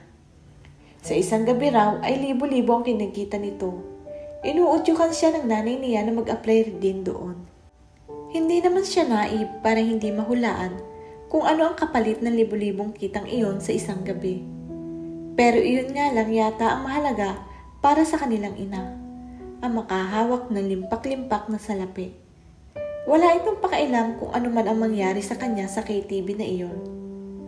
Bakit hindi mo man lang subukan, Chame? laking ganda mo naman kumpara sa anak ni Maring Nela. Siguradong mas malaki ang kikitain mo kaysa kanya. Lumapit pa talaga ito sa kanya at pabulong na sinabi iyon. Hindi siya sumagot. Tahimik lang na ipinagpatuloy niya ang pagtitimpla ng kape. Kung ang tatay mo ang inaalala mo, isekreto na lang natin sa kanya ang tungkol doon. Ako na ang bahala sa kanya. Hindi makapaniwalang tiningnan niya ito. Nanlumo siya sa realisasyon kaya nito kayang gawin ang lahat para lang sa mas malaking pera. Ano? Sasabihin ko na ba kay Maring Nela na magpapasama ka sa anak niya mag-apply? Ayoko na eh. Matatag na sabi niya. Napatuwid ito ng tayo, sabay taas pa ng dalawang kamay sa pagkadismaya. Wala na. Mamamatay na lang talaga akong hindi man lang makakatikim ng ginhawa sa buhay. Bubulong-bulong pa ito nang lumayo. Ibinagsak nito ang hawak na wali sa sahig at lumabas na ng bahay. Ipinagpaliban muna niya ang pag-aalmusal. Kinuha niya ang wali sa sahig at tinapos ang iniwang kalat ng nanay niya. Alam niya ang frustration ng nanay niya sa bahay. Hindi naman ito itinatago sa kanila ang hinaing nito na hindi nito nakakatikim ng ginhawa kahit minsan. Kaya nga raw ginusto nito makapag-asawa ng mayaman noon, pero sa tatay nga nila ito bumagsak. Sa maraming pagkakataon, ay pinaparinig nito sa tatay nila ang frustration nito, lalo noong magkasakit ang tatay nila at hindi na makapagtrabaho. Araw-araw na tinitiis ang tatay niya ang mga parinig na iyon mula sa nanay niya. At kahit na nasasaktan siya para sa tatay niya, wala naman siyang magawa. Kahit pa siguro mag-street siya sa pabrika ay hindi siya kikita na limpak-limpak na salapi gaya ng gusto ng nanay nila. Kung makakontento lang sana ito sa kung ano ang kanyang niyang ibigay, matatahimik ang bahay at buhay nila. Saglit na nag-alinlangan si Chame kung lalapitan niya si Khalil. Kaumpok nito ang mga kabarkada kasama si Yael sa labasan ng Little Avida. Galing na siya ng bahay ng mga ito at wala nga ito roon. Kaya naisip niya na kasama na naman ito ang mga katropa at nakatambay sa kung saan. Kahit ayaw sana niya ay wala naman siyang choice kaya lumapit na rin siya sa mga kaibigan niya. Pilit na lang niyang inignora si Yael. Hindi pa siya nakakapag-sorry dito dahil sa ginawa niyang pananampal at pambibintang. Wala pa kasi siyang pagkakataon para gawin iyon. Tuwing nakikita niya ito, ay palagang kasama nito si Khalil. Mas gusto sana niyang sarili na na lang niya itong kausapin. Good luck na lang kung kailan mangyayari iyon, Chame. Kung kailan ka magkakalakas ng loob na kausapin si Yael ng sarilinan. At kung kailan ka magkakaroon ng pagkakataon alam mong mailap pa sa usa ang lalaking iyan. Pwede ka bang makausap? Sabi niya kay Khalil. Sadyang iniiwas niya ang paningin kay Yael. Kakausapin daw ng lady love niya si Bossing. Iskapo na muna tayo. Doon muna tayo sa tindahan. Ani Roberto na nagmamadali ng tumayo. Gusto niyang itama ang sinabi nito na lady love siya ni Khalil. They both knew that it was not true at para na rin sa pandinig ni Yael. Kung halos lahat ng residente ng Little Avida ay nag-aakalang sila ni Khalil, malamang na ganon din ang nais sa isip ni Yael. Paano siya maiisipang ligawan nito kung alam nito ay silang dalawa ni Khalil? Para namang may balak talaga si Yael na ligawan ka kung wala ang chismis na iyon sa inyo ni Khalil, kutya niya sa sarili.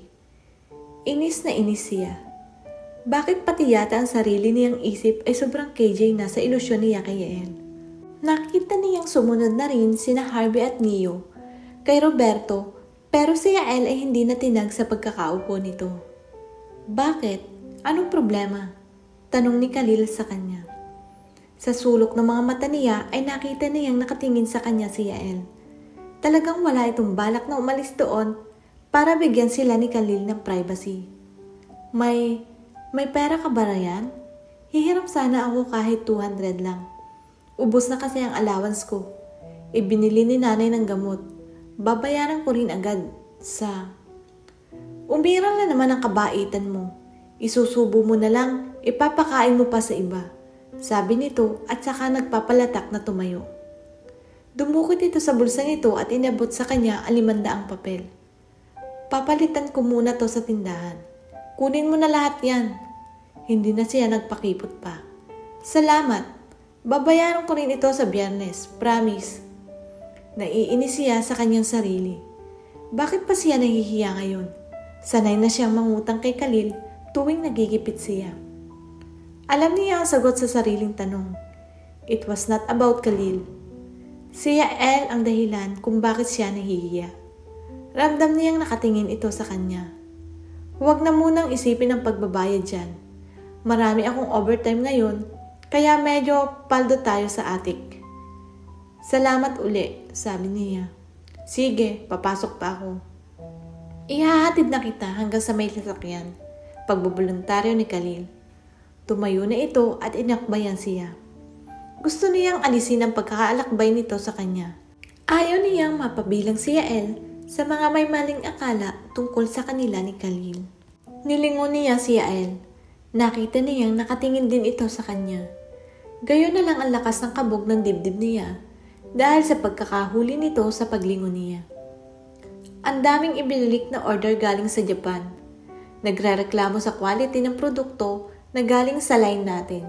Sabi ni Carla kay Chame, CD drive ng mga desktop computers, VCD and DVD players ang ginagawa sa pabrika. Isiniship iyon papunta sa Japan kung saan iyon ikinakabit sa mga ina-assemble na CPU. Bakit sa akin mo sinasabi yan? Nagtatakang tanong niya. Dahil ikaw ang assigned sa final testing ng produkto sa linya ninyo. Kung palpak ang quality, ibig sabihin Sa'yo galing ang kapalpakan. Hindi mo ginawa ng maayos ang trabaho mo. Ginawa ko ng maayos ang trabaho ko, katwira niya.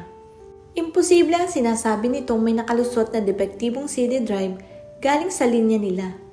Lahat ng ina-out na produkto ay sinisiguro niyang gumagana. Siya naka-assign sa testing machine kung saan niya iniisa-isang tinetest ang mga CD drive bago yon ipasok sa mga kahon. Kung ginawa mo ng maayos ang trabaho mo, hindi sana ibabalik iyon ng mga Hapones dito, sagot nito. Pero, Ate Carla, imposibleng sa linya namin galing ang defective na produkto, sabad ni Crisette. Pinandilatan ito ni Carla. Ikaw ba ang kausap ko? Sinasabi ko lang na imposibleng galing sa amin ang mga ibinalik na product.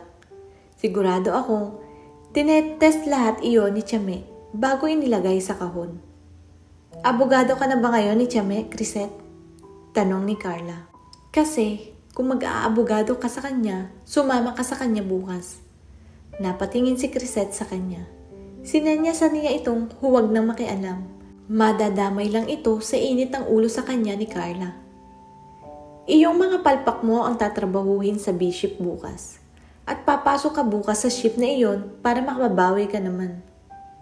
Bakit ako magbibi-ship? Alas dos ng hapon hanggang alas 10 ng gabi ang oras ng pasok ng ship na iyon. Alas 6 ng umaga bukas ang tapos ng ship niya ngayon.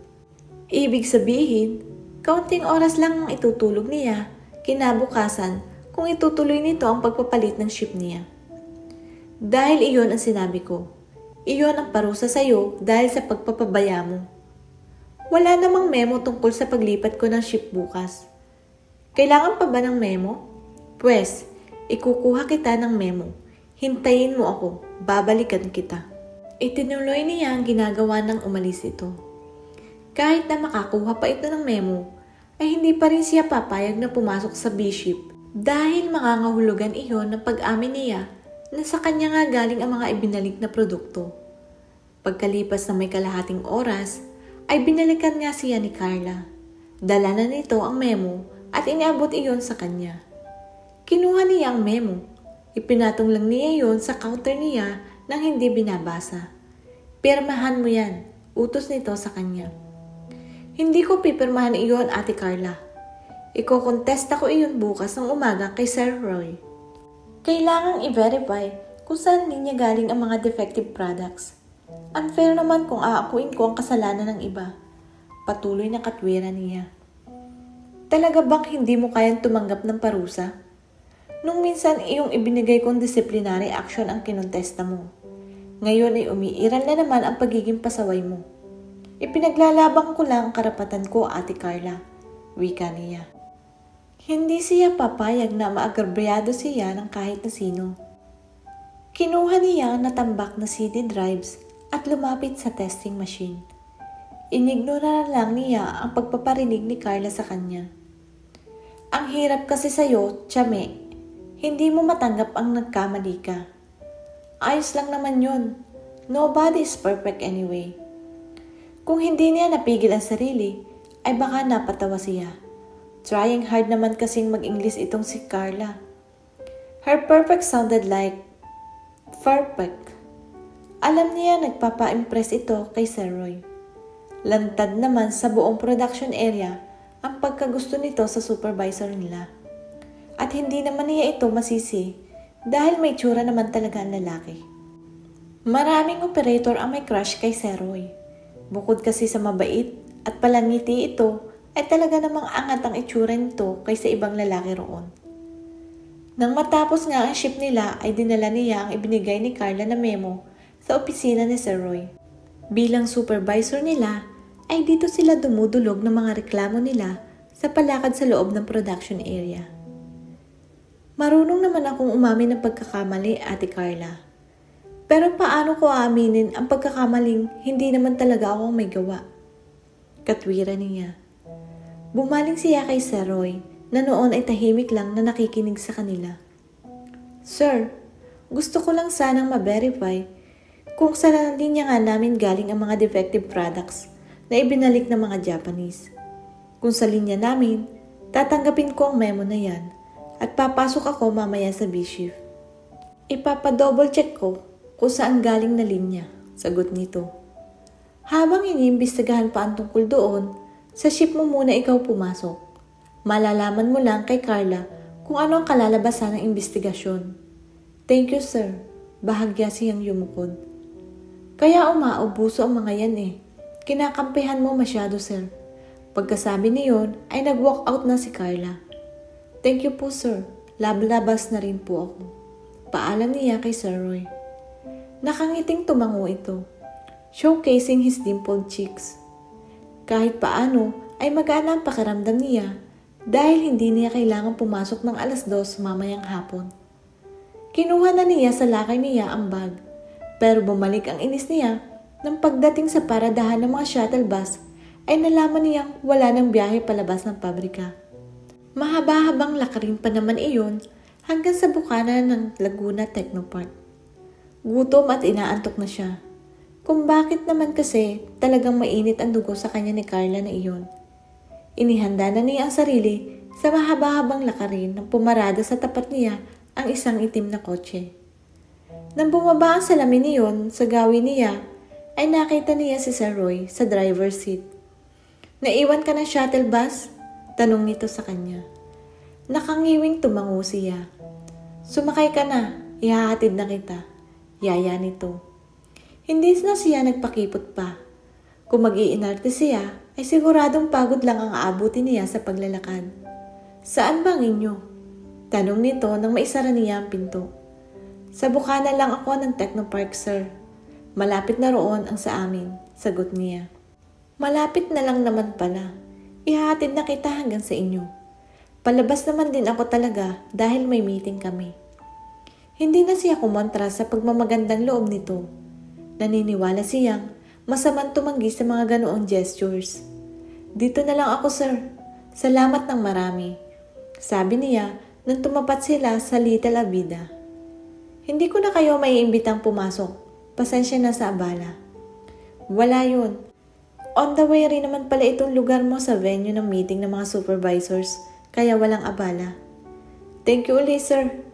Bumaba na siya. Kinawayan pa niya ito hanggang sa makalis ito. Pagpihit niya ay hindi niya inaasahang makikita si Yael. Nagtama ang mga mata nila. Kung tutuusin ay wala namang kakaiba sa ekspresyon ng mukha nito na wala pa rin kalngiti-ngiti. Pero siguro nga ay iyon na mismo ang rason kung bakit lagi silang binabayo ang dibdib niya tuwing makikita ito. Palaging formal ito Palaging matiim kung tumitig. Ilang sandali pa ang lumipas bago niya nagawang ihakbang ang mga paa. They were looking at each other while walking. Nang magkatapat sila ay hindi niya inaasahang hihinto ito. Para namang may sariling isip din ang mga paa niya na huminto rin. Damang-dama niya ang tila pagwawala sa pwesto ng puso niya. Her tummy was squishy as well. Ano kaya sasabihin ni Khalil kapag nalaman niya pagkatapos mo siyang hinga ng pera kagabi, ay ibang lalaki naman ang hiningan mo ng pabor ngayon? Ilang sandaling hindi rumihistro sa isip niya ang sinabi nito. At nang maintindihan niya ang ibig nitong sabihin ay napasimangot siya. Nagpanting ang mga tenga niya. Alam niyang may mali siya ang sinabi nito. Bakit? Magsusumbong ka ba? Inis na balik niya rito. Hindi agad ito nakasagot. Nakatingin lang ito sa kanya sa loob ng mahabang sandali. Hindi niya maipaliwanag ang biglang paghupa ng inis niya dahil sa matiim na pagtitig nito sa mukha niya. Magsusumbong ka ba kay Khalil? Tanong uli niya. Bakit? Makikusap ka ba sa akin na huwag kong sabihin sa kanya ang nakita ko? Umiling siya. Bahala ka kung anong gusto mong gawin. Sigurado naman akong kahit magsumbong ka, hindi ka paniniwalaan ni Khalil. Tumaas ang isang sulok ng mga labi nito. Palagay mo, ganoong kalaki ang tiwala niya sa'yo? Tumango siya. Kahit namang magsumbong ito, baliwala iyon kay Khalil dahil hindi naman sila magdobyo ng lalaki. At alam ni Khalil kung sino ang talagang gusto niya. Pero syempre pa ay hindi na pwedeng ibigay na rason iyon kay Yael. Tumaas ang isang kilay nito Ganoon kalaki ang pagmamahal niya para sa iyo. Pinagmasdan niya ang mukha nito. Wala siyang makita na kahit anong ekspresyon doon na pwede niyang pagbasehan na nagseselos ito. Subalit iyon ang gusto niyang isiping rason nito kung bakit nag-uusap sila ngayon. Bakit Yael? Hindi ka ba naniniwalang posibleng magkaroon ng ganoong kalaking tiwala at pagmamahal ang isang lalaki para sa akin? Ilang sandali ang lumipas bago ito umiling. Humakbang na ito palayo sa kanya. Nainsulto siya. Ang kapal naman ng mukha nito para isipin iyon. Hinabol niya ito at saka hinatak ito sa braso. Bakit? Hindi ba ako lababol sa paningin mo? Ha, Yael? Huli na para bawiin pa ang tanong niya. Nagpadala na siya sa emosyon niya. Are we fishing here? Tumaas ang isang kilay niya. Hindi siya pwede magkamali ng pandinig. Narinig niya itong mag-Ingles at maganda ang diction nito. Hindi naman importante kung ano ang tingin ko sa'yo. Si Khalil naman ang makikisama sa'yo. Kung kaya mong paikutin ang ulo niya, problema niya iyon. Hindi ganoon ang naging impresyon ko sa ginawa mong pagsita sa akin kanina. Kumunot ang noon nito. Ngunit itinuloy na niya ang sasabihin. Sa loob ng apat na taon, iyon ang pinakamahabang pag-uusap nila kaya sasamantalihin ni niya. Para ka nagseselos kanina. Dumilim lalo ang mukha nito. Sinasabi mo bang may gusto ako sa'yo? Wala ba? Mayabang na tanong niya. Inilapit nito ang mukha nito sa mukha niya.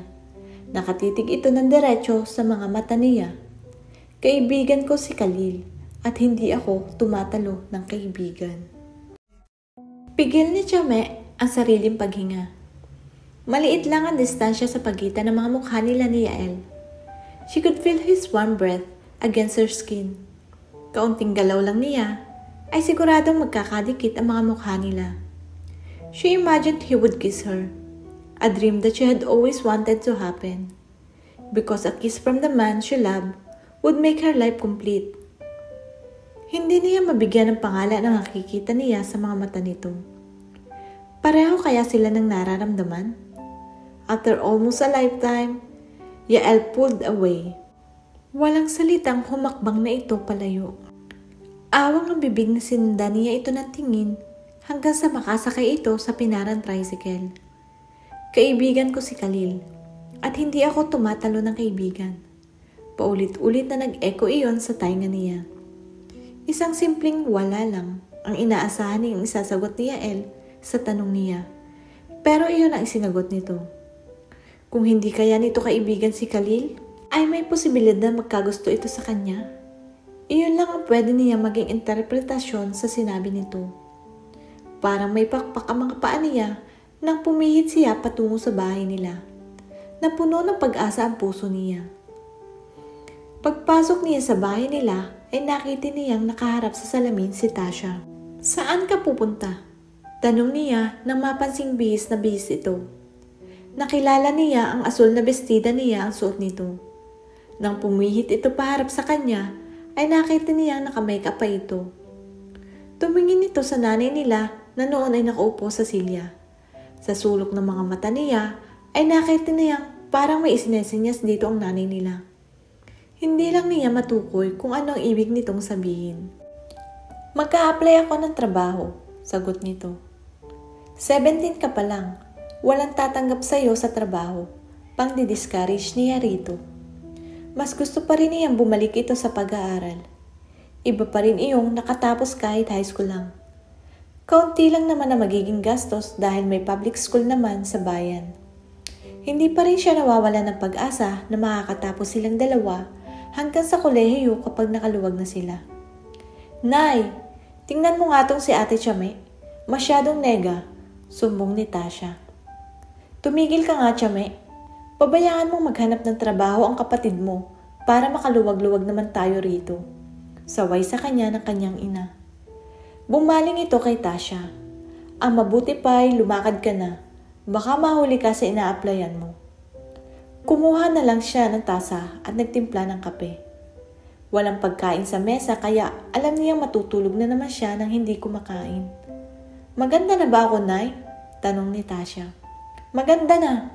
Siyempre, kamukha kita. Galingan mo ang pagsagot sa interview anak na matanggap ka. Nagbulahan pa mga ito sa isip-isip niya. Anong trabaho ba ang inaplayan mo, Tasha? Tanong niya. Sa bagong bukas na Jollibee malapit sa Grand Terminal, sagot nito. Kinuha nito ang brown envelope na nakapatong sa mesa. Aalis na ako. Good luck anak, galingan mo. Inihatid pa ng nanay nila si Tasha hanggang sa may pintuan. Pagkatapos, ay lumapit ito sa kanya. Tumigil ka nga sa pagsaway sa kapatid mo kontra sa paghahanap niya ng trabaho. Nay, mas mabuting tapusin niya ang pag-aaral niya ng high school, katwira niya. Bakit ba nagtatapos ng pag-aaral? Hindi ba para makahanap ng trabaho? Eh di mas maganda kung iso-shortcut na ni Tasha ang diretsong humanap na lang ng trabaho kaysa dumaan pa sa kung ano-anong cheche boreche.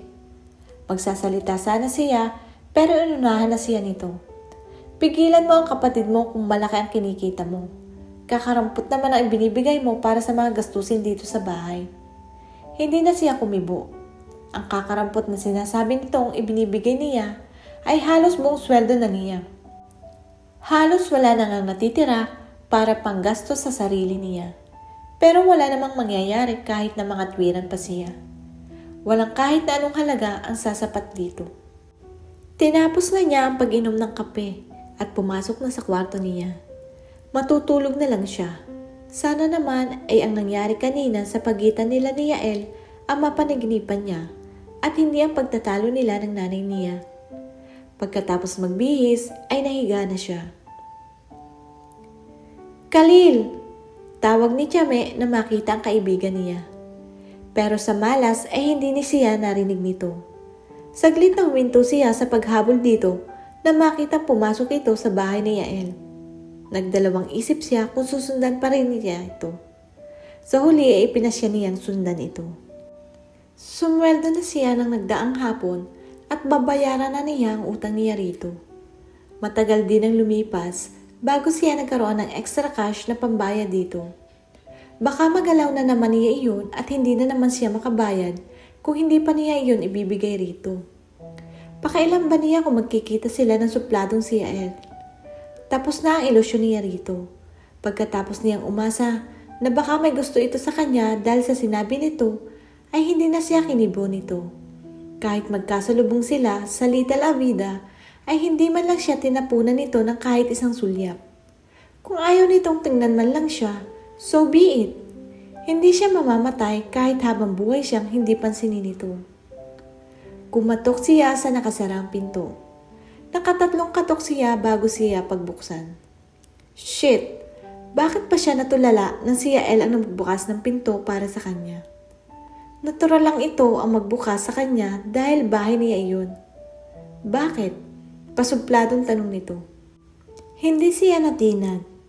Si Khalil, Shit, Chame, akala ko ba hindi ka napektado sa lalaking iyan? Nasa loob, niluwagan nito ang pagbubukas ng pinto. Humakbang siya papasok. Pakiramdam niya ay tila bibigay ang mga tuhod niya. Bakit? Tanong ni Khalil sa kanya. Nakaupo ito sa silya. Inirapan niya ito. Alam niyang narinig naman itong hinahanap niya ito. Hindi pa ito nagkusang lumabas na lang.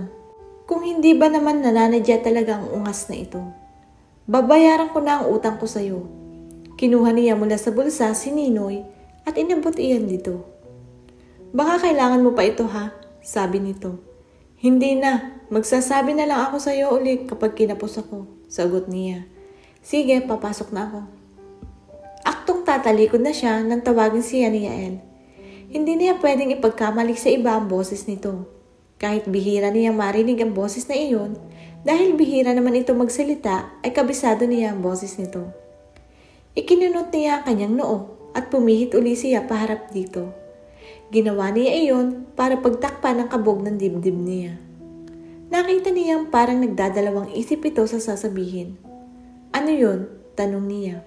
Nakita ko si Tasha sa Delavin nung isang araw, sagot nito. Gala talaga yon, aniya. Hindi na niya pinagtaka kung makarating man sa kabisera ang kanyang kapatid. Mahilig talagang maglakwat siya iyon. Pangatlong beses ko na siyang nakitang papunta sa talent agency na iyon. Napakunot noo siya. Talent agency? Naalala niya nag apply nga pala ng trabaho si Tasha sa Delavin. Tumango ito. Talent agency raw yon para sa mga nag apply papunta sa Japan. Sa second floor ng Bartolome Building, katapat ng PCC yung opisina. Napatingin siya kay Khalil. Tahimik lang itong nakikinig sa kanila. Nagulat siya na nag-abala pa talaga si Yael na alamin kung ano ang sinasadya ni Tasha sa Delavin. Wala sa personalidad nito ang mag-exert pa ng effort para sa ganung bagay. Ngunit ano nga ba ang alam niya tungkol sa personalidad ni Yael? Hindi niya ito kilala. Pero sa kabila niyon ay nagustuhan mo pa rin siya, sabi niya sa sarili.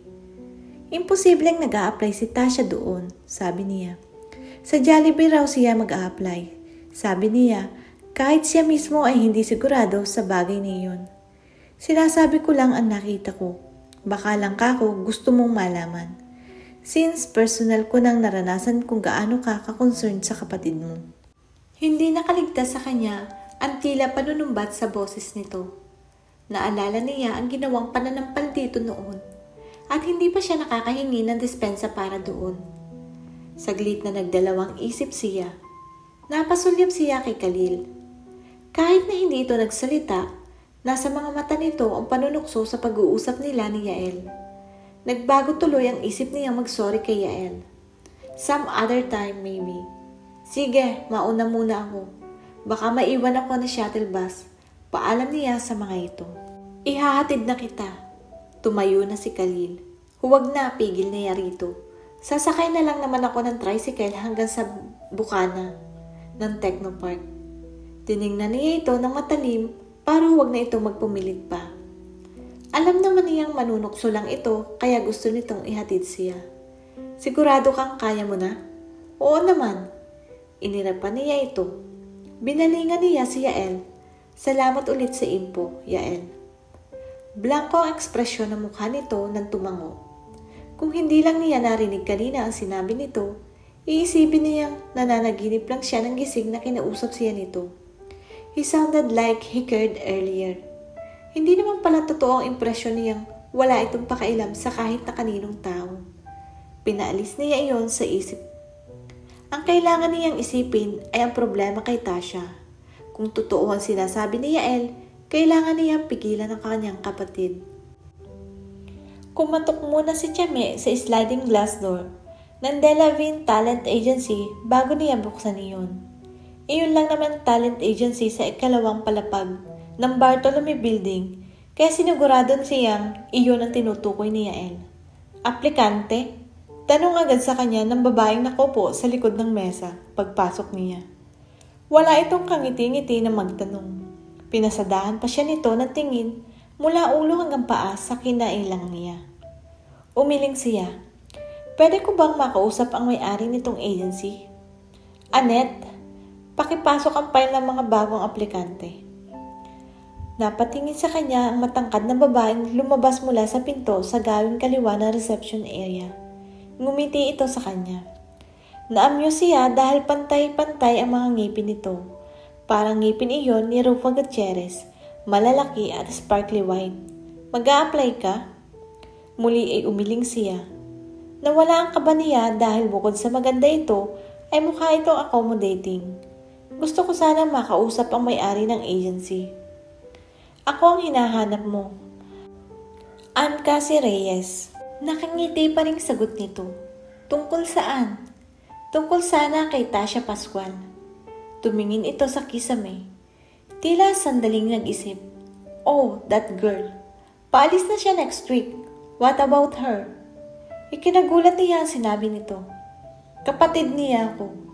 Hindi siya pwedeng umalis dahil minor de edad pa siya. Oh, halatang nagulat ito. Problema to. Bumaling ito sa receptionist. Pakihanap ang file ni Tasha Pascual. Isunod mo na lang sa amin ni Miss. Chame, sagot niya. Ni Miss Chame, niluwagan nito ang pagkakabukas ng pinto. Nagpatiuna na itong pumasok sa loob. Sumunod siya rito. Kinaligkik siya sa lamig dahil malakas ang aircon sa opisina nito. Kabaligtaran na nakakapasong init ng araw sa labas. Maupo ka muna rito. Anito, na iminuwestra ang pulang silya na may kakaibang hugis sa kanya. Lumapit ito sa isang rolling table sa isang sulok. You want coffee? Sige, nahihiyang sagot niya. Salamat, Miss Cassie. Dumiretso na siya agad doon pagkagaling niya ng pabrika. Bahagyang kumakalam na ang sikmura niya. Habang nagtitimpla ito ng kape, ay nilibot niya ang mga mata sa paligid. Hindi mahirap hulaan sa mahilig ito sa matitingkad na kulay.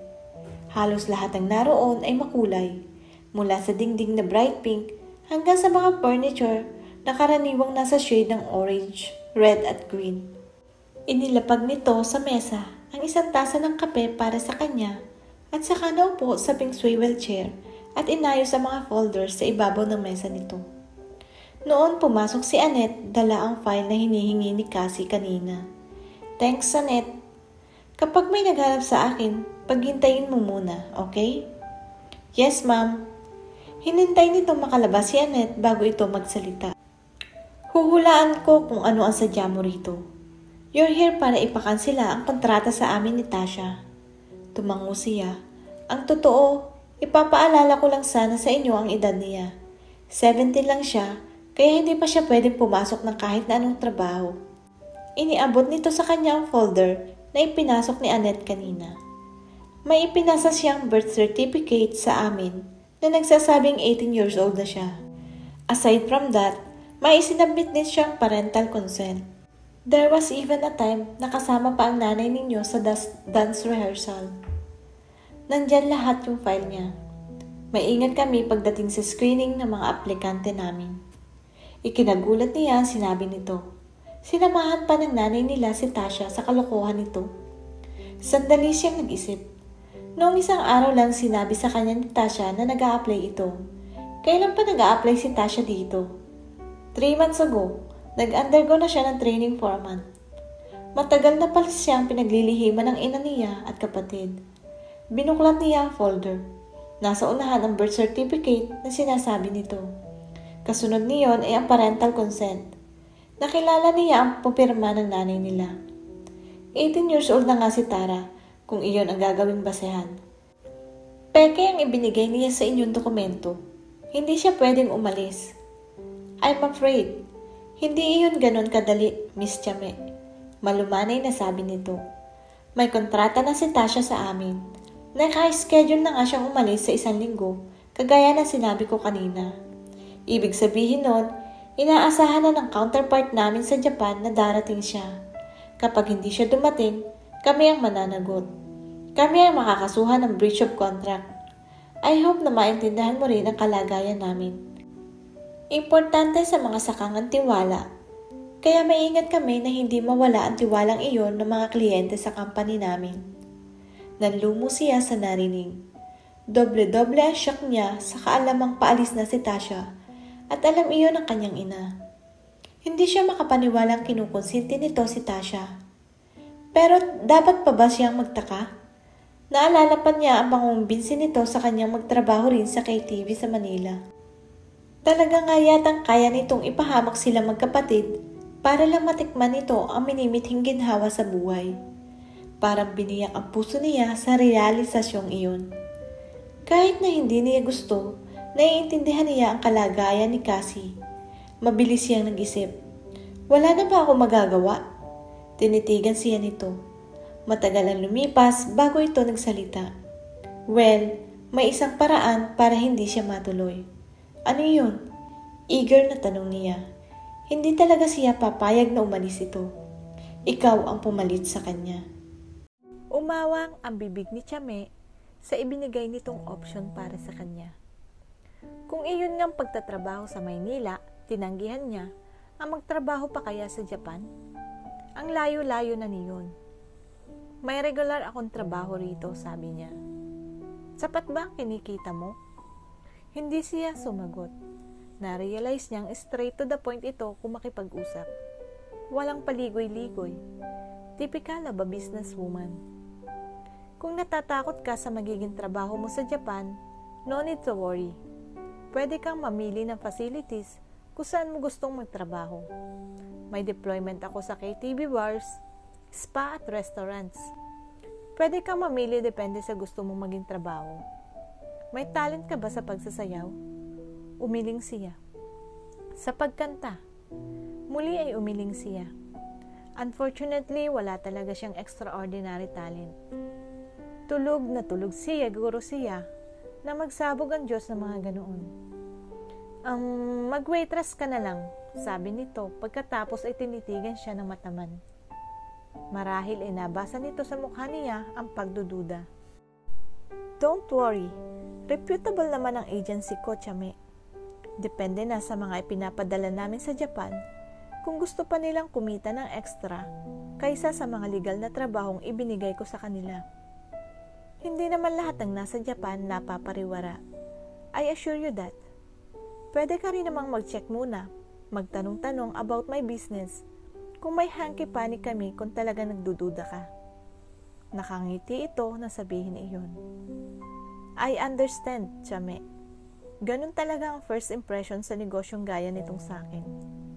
Napaisip siya, saka bumuntong hininga. Wala na ba akong ibang choice? I'm afraid. Iyon na lang ang kaya kong i-bargain sa'yo para hindi si Tasha ang mapunta sa Japan. Paano kung edemanda ko na lang ang agency mo? Minor si Tasha. Wala namang bisa ang kontratang pinirmahan niya.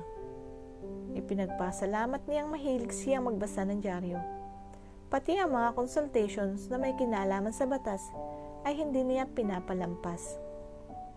Kaya nga as much as possible, kumukuha kami ng parental consent sa mga talent na eksaktong 18 ang declared age.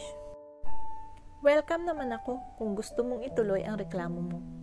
But I'm telling you, pareho lang tayong maaabala. Pwede naman kaming mag-countercharge, like falsification of public documents at conspiracy sa pagitan ni Tasha at ng nanay ninyo. Sila pa ang higit na maiipit dahil niloko nila kami. Pineke nila ang mga dokumentong ibinigay nila sa amin, sabi nito. Pero ayoko na sanang humantong tayo sa ganoong sitwasyon.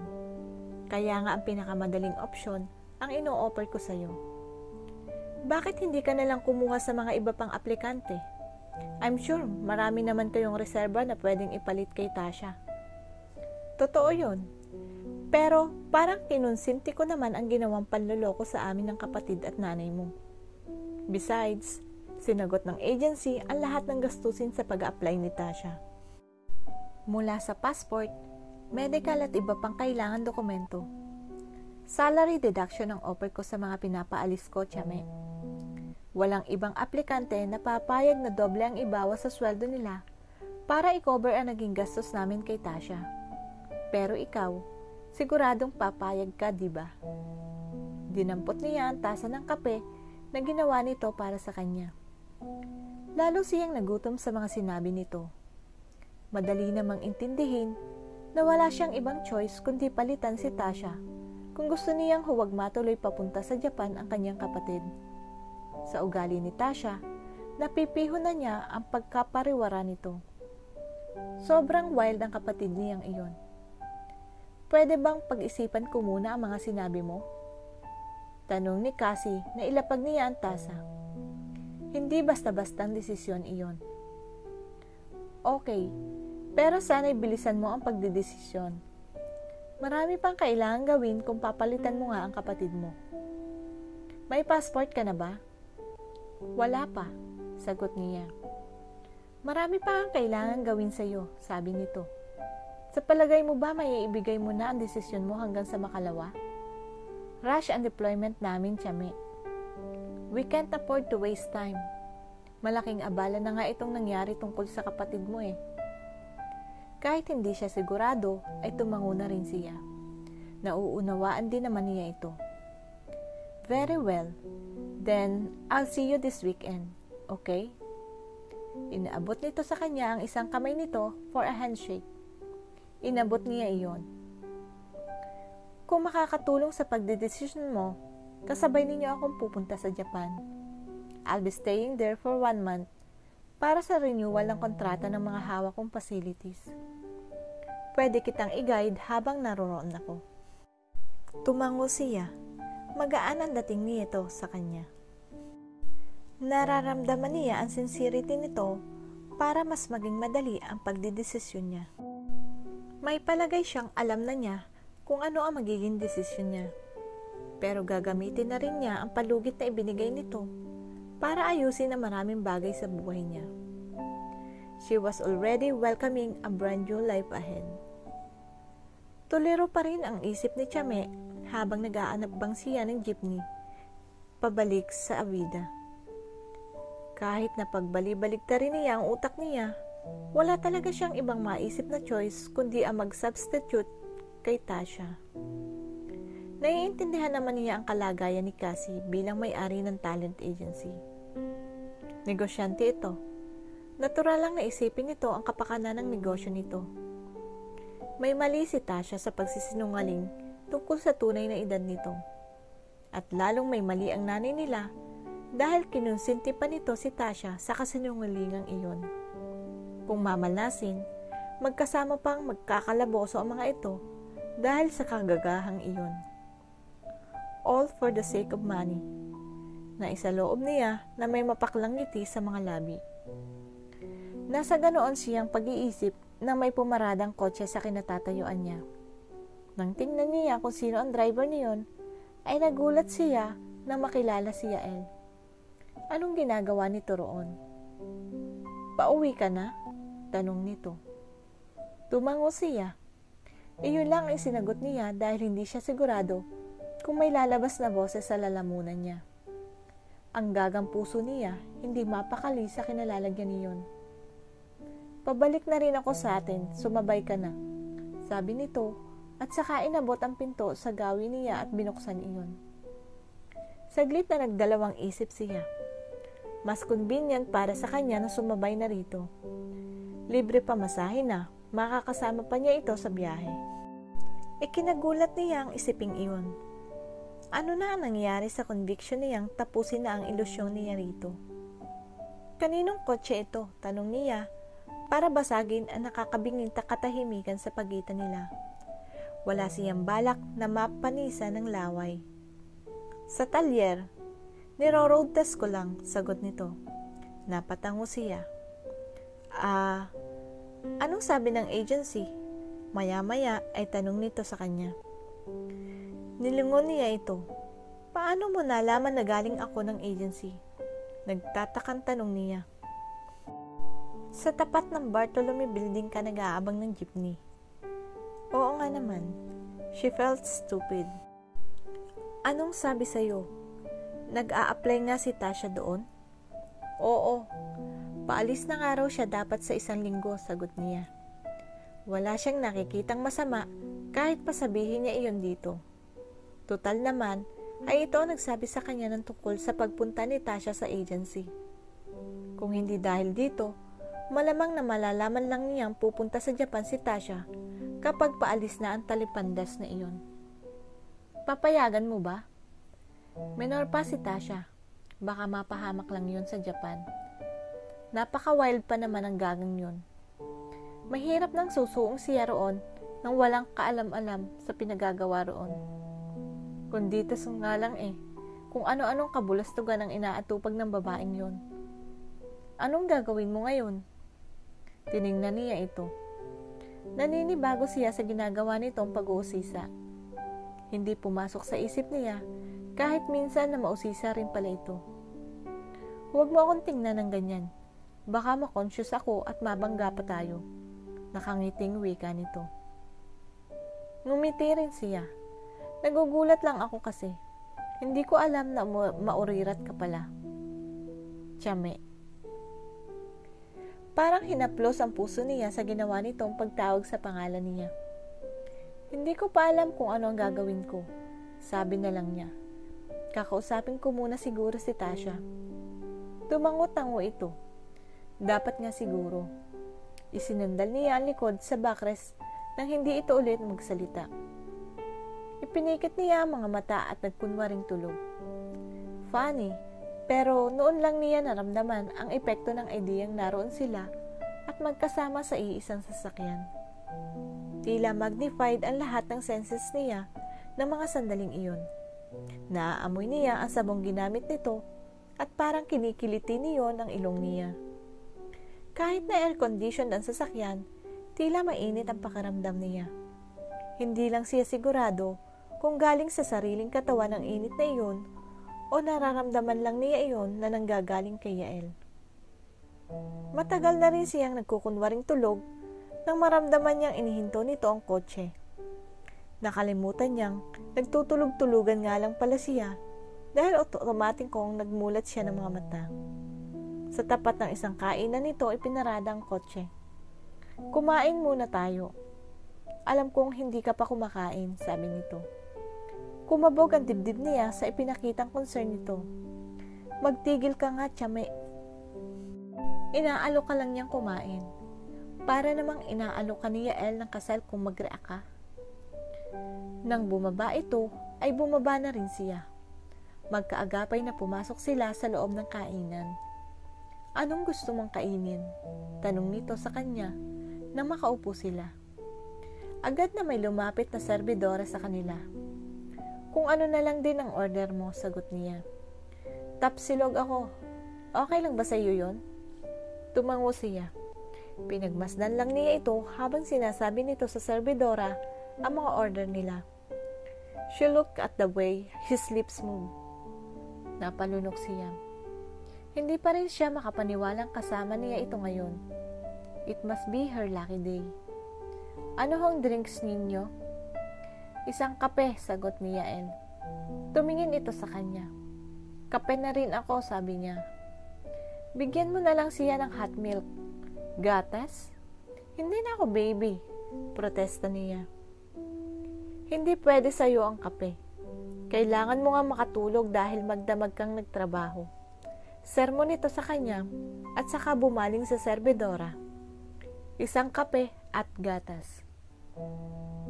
Nang makaalis ang serbedora, ay hindi niya napigilan ang sarili na pagmasdan ito. Totoong na-amuse siya.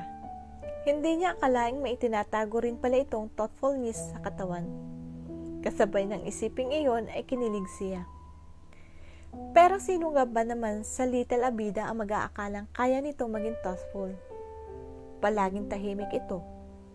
Hindi ito nakikipag-associate sa kahit na kaninong kapitbahay maliban sa grupo ni Nakalil. At kung ang pagbabasehan ay ang pagmukha nito na laging seryoso, he could easily be mistaken for a snob. Pakaramdam niya ay nagkulay kamati sa mga pisngi niya nang marinig ang pagtikhim nito. Alam ko nang gwapo ako. Hindi mo na kailangang stress ang obvious. Untad nito sa pagkatulala niya. Napanganga siya. Yael was smiling and he just popped the joke. At hindi nagjo-joke ang Yael na kilala niya. Kinurot niya ang sarili. Naramdaman niya ang sakit, pero nang tingnan niya ito, kaharap pa rin niya ito.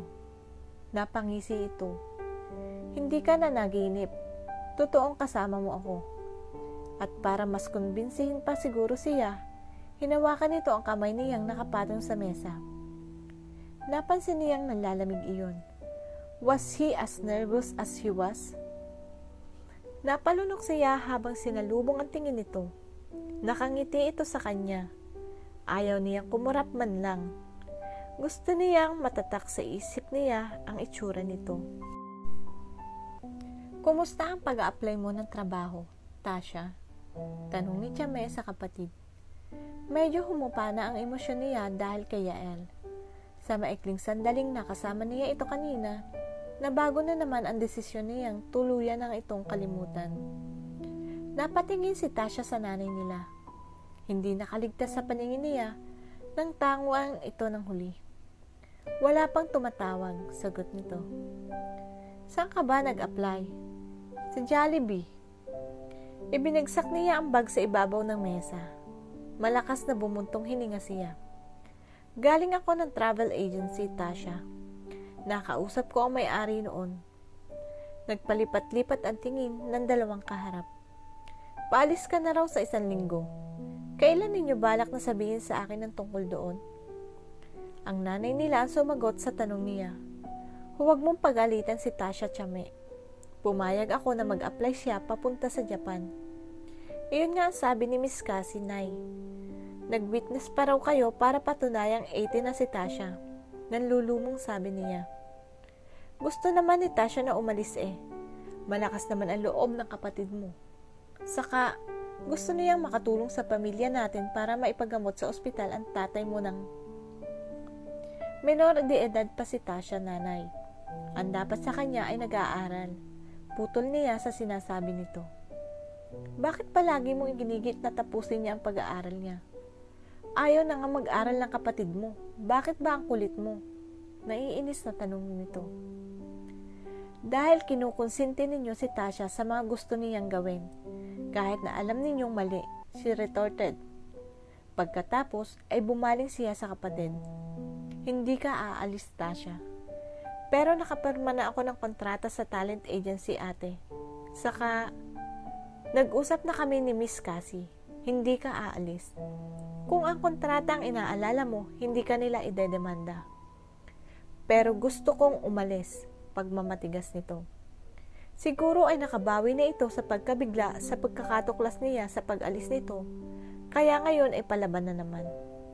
Kahit na gusto mong umalis, hindi ka na makakaalis. Siniguro ko sa agency na hindi ka nila paaalisin. Napamaang ito. Anong ginawa mo ate? Sira ulo talaga ito. Bulyaw sa kanya ng nanay nila. Pigil na pigil sa kapatid mo ang mag-Japan.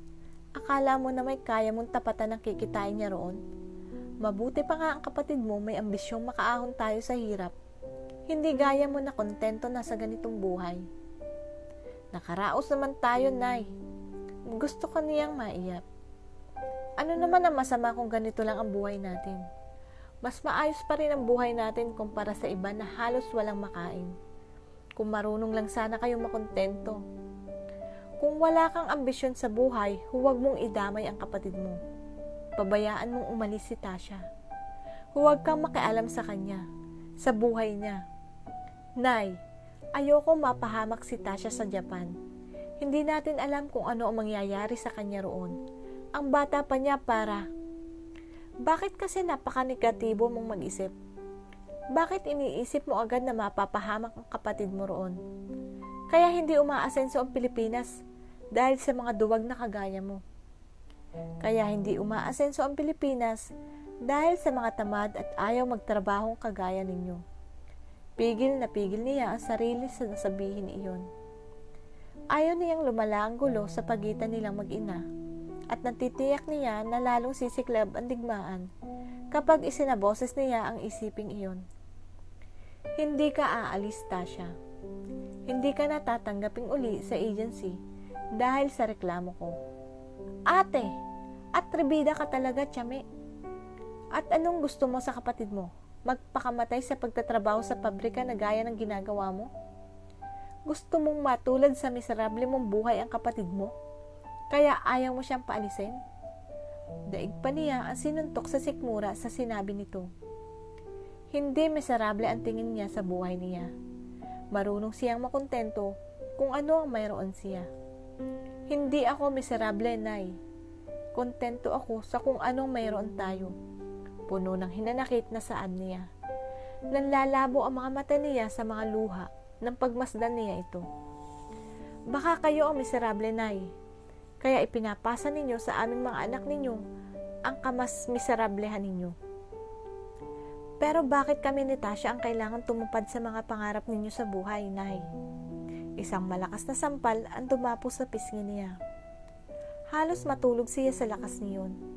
Ngunit higit sa pisikal na sakit, mas ininda niya ang sakit sa puso niya. Hindi sila nagkakasundo ng kanyang ina, pero iyon ang unang pagkakataon na dumapo ang kamay nito sa katawan niya.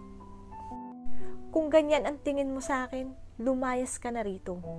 Hindi porke ikaw ang nagpapalamon sa aming lahat dito. Ibig sabihin may karapatan ka ng pagsalitaan ako ng ganyan. Sabi nito sa nanginginig na tinig. Masamang masama ang loob niya, kaya hindi ito nagdalawang salita. Mas mabuti nga sigurong umalis na muna siya roon. Nakita niya ang tatay niya sa bungad ng kwarto ng mga ito. Malungkot na nakatingin sa kanya Nagyuko siya ng ulo. Kung hindi rin naman pala na-appreciate ng mga ito ang presensya niya, mas mabuti pa ngang umalis na muna siya sa bahay na iyon. Dinampot lang uli niya ang inilapag na bag sa mesa at lumabas na ng bahay. Hindi niya alam kung saan siya pupunta. Alam niyang hindi siya pwede kinakalil dahil hindi rin naman maayos ang relasyon nito sa ikalawang pamilya ng nanay nito.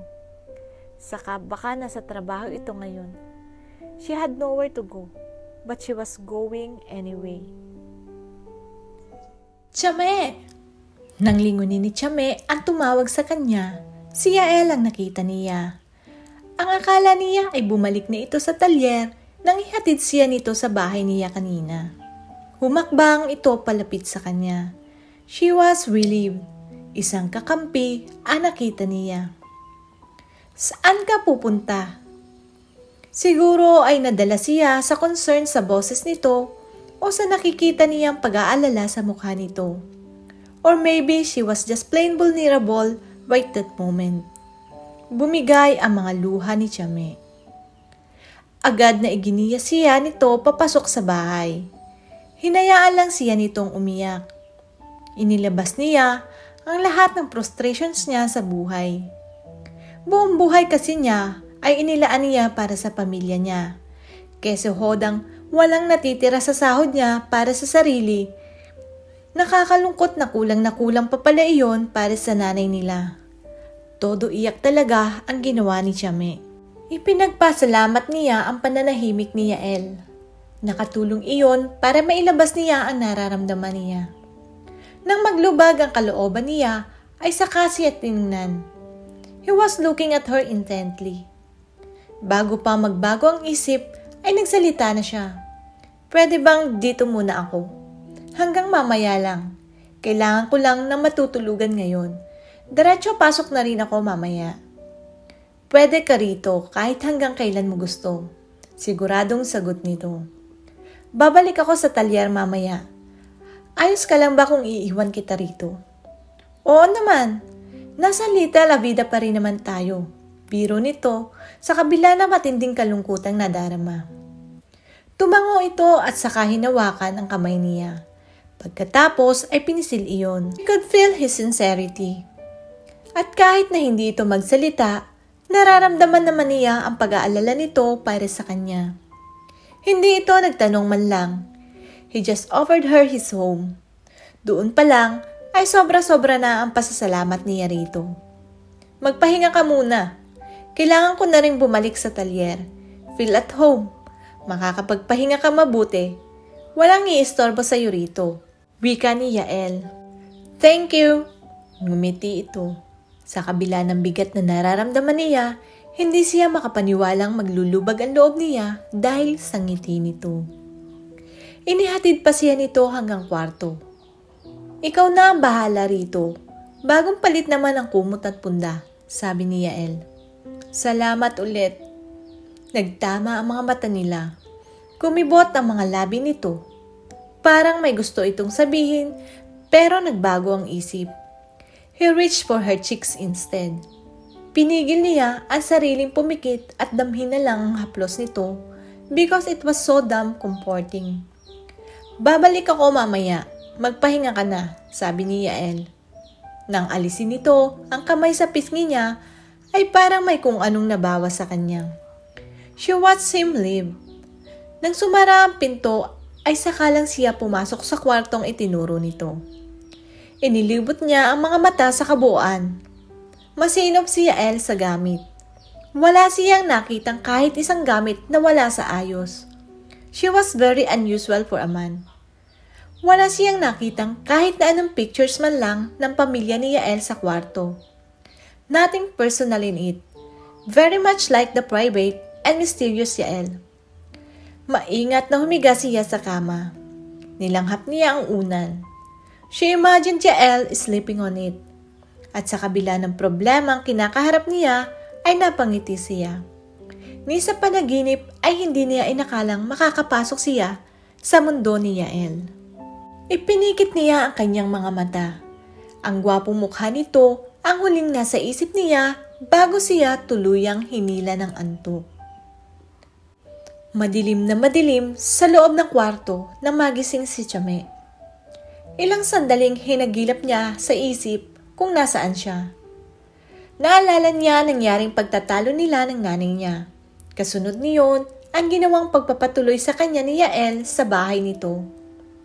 Sa kabila ng lahat, napangiti siya sa huling alaala.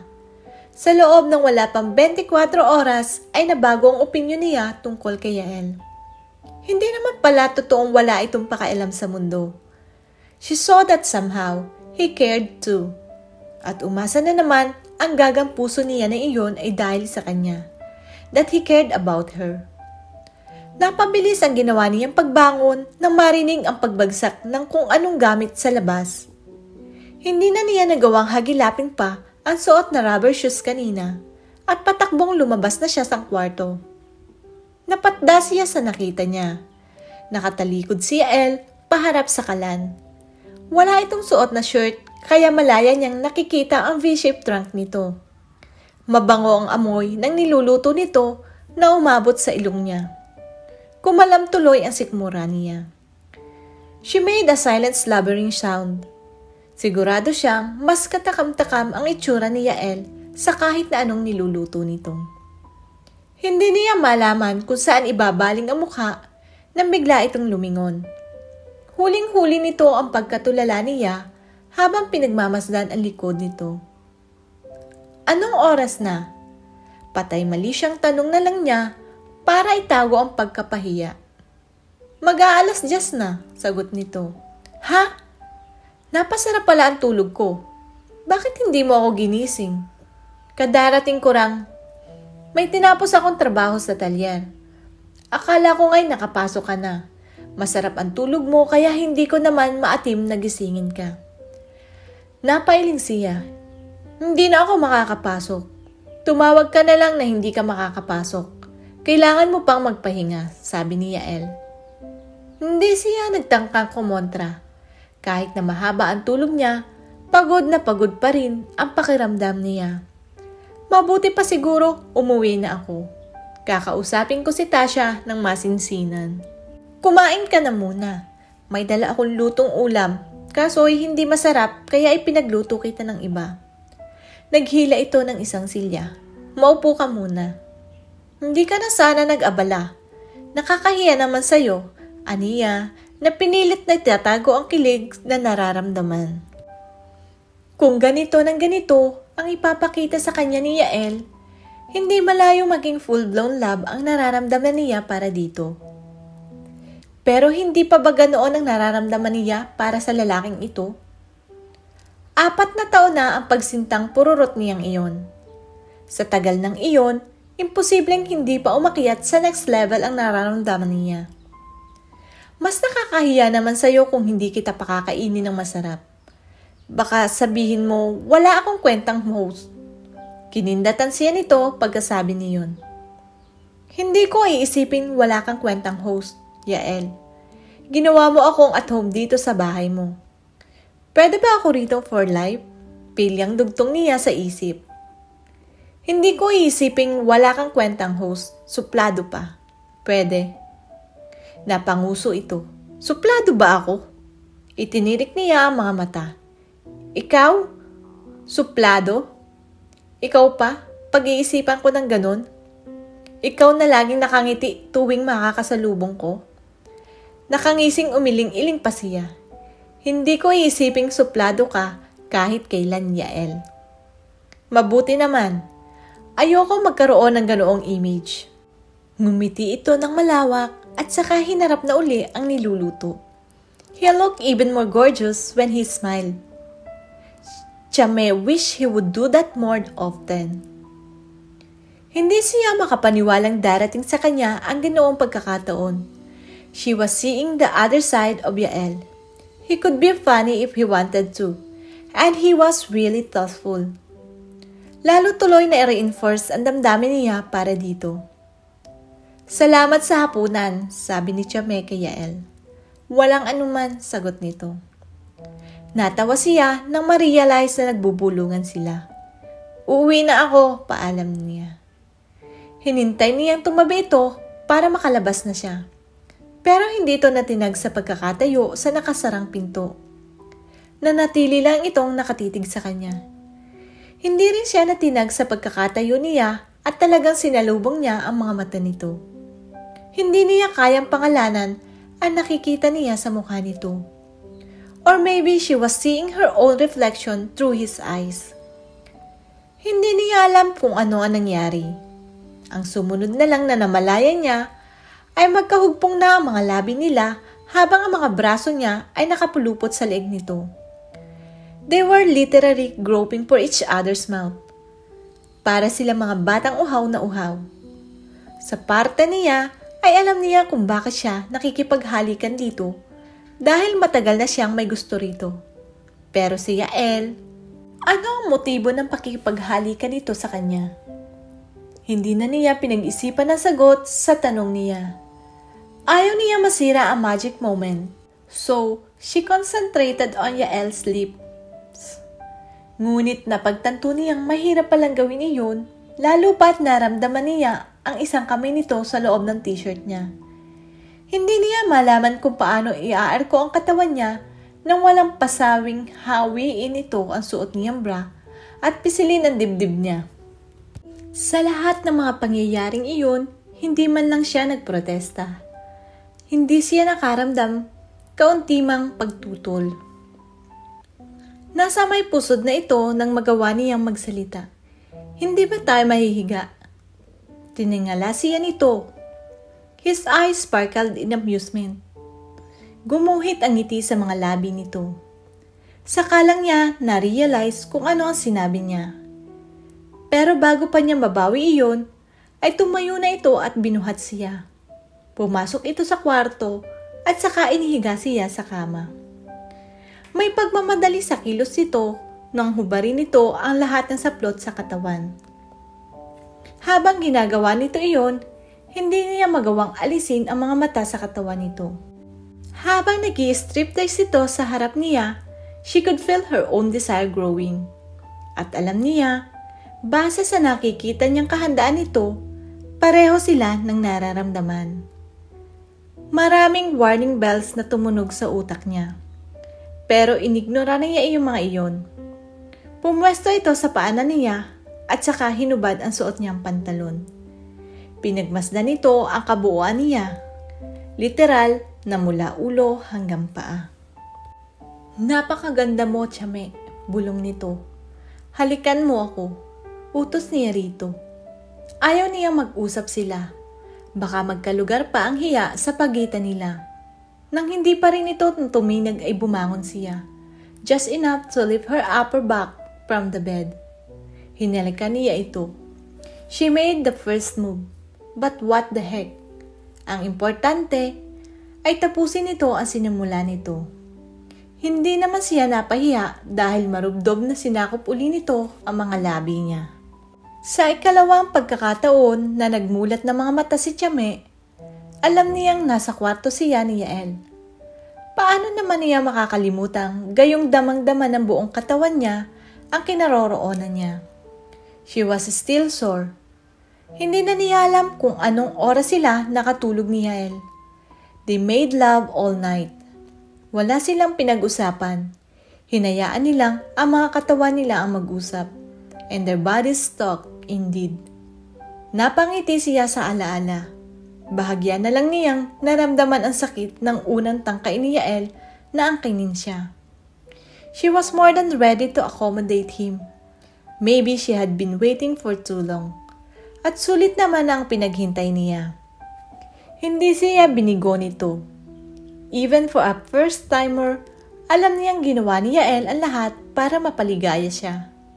Bumangon na siya.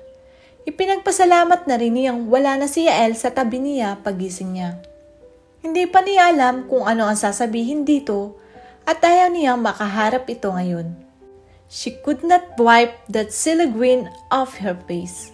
Maybe later they could talk about what happened. Maitatanong din niya rito kung bakit nangyari ang lahat sa pagitan nila. At sana naman ay maganda ang isagot nito sa kanya. Pagkatapos ayusin ang sarili niya, ay lumabas na siya sa bahay. Kasabay niyon ang dasal na wala sanang makapansin sa kanya. Pero nang may tumawag sa pangalan niya, alam niyang hindi pinakinggan ang dasal niya. Ano ang inaasahan mo, Chame? na hindi pakikinggan ng Diyos ang dasal mo. Hello? Katatapos mo lang magkasala, no? Sa isip-isip niya at napakagat labi na lamang siya. Ano nga kaya ang tunay na motibo ni Yael kay Chame ng gabing iyon? Ipinagpatuloy ni Chame ang paglalakad. Nagkunwari na lang siyang hindi niya narinig ang pagtawag ni Khalil. Pero nalalambot pa nga yata ang mga tuhod niya dahil inabutan siya nito. Hinawakan siya nito sa braso kaya napilitan siyang harapin ito. Bakit? Shit! Sinasabi na nga ba niya at hindi na siya dapat nagsalita? Galing ka sa bahay ni Yael? Hindi siya sumagot. Hindi nagtatanong ang tono ng boses nito. Alam niyang nakita siya nitong lumabas galing ng bahay ni Yael. Pinagmasdan siya nito ni hindi niya magawang salubungin ang mga mata nito. Anak ng Napangiwi siya sa sunod-sunod na murang kumawala sa bibig ni Khalil. Bumigay ka na agad. Hindi ka man lang nagpakipot. Kahit hindi niya tingnan ang sarili sa salamin, alam niyang bumakas ang guilt sa mukha niya. Si Khalil ang kaharap niya. Ayaw niya magsinungaling dito. Binitiwan ni Khalil ang braso niya. Umuwi ka na muna. Ayusin mo ang sarili mo. Tumango na lang siya. Wala siyang maisip na isagot dito. Para siyang nakalutang. Masayang masaya siya and yet nakakaramdam siya ng bahagyang guilt. Pero nang ibabaw ang kaligayahan sa sistema niya, kaya kahit nakita niya si Tasha sa sala ng bahay nila ay hindi natigatig ang nararamdaman niya. Agad na tumayo ito pagkakita sa kanya. Ate, Inunahan na niya ito. Hindi pa rin nagbabago ang pasya ko, Tasha. Hindi ka pwedeng umalis. Alam ko, sagot ni Tasha. Pero, paano ang kontratang pinirmahan ko? Baka idemenda ako ng agency, ate.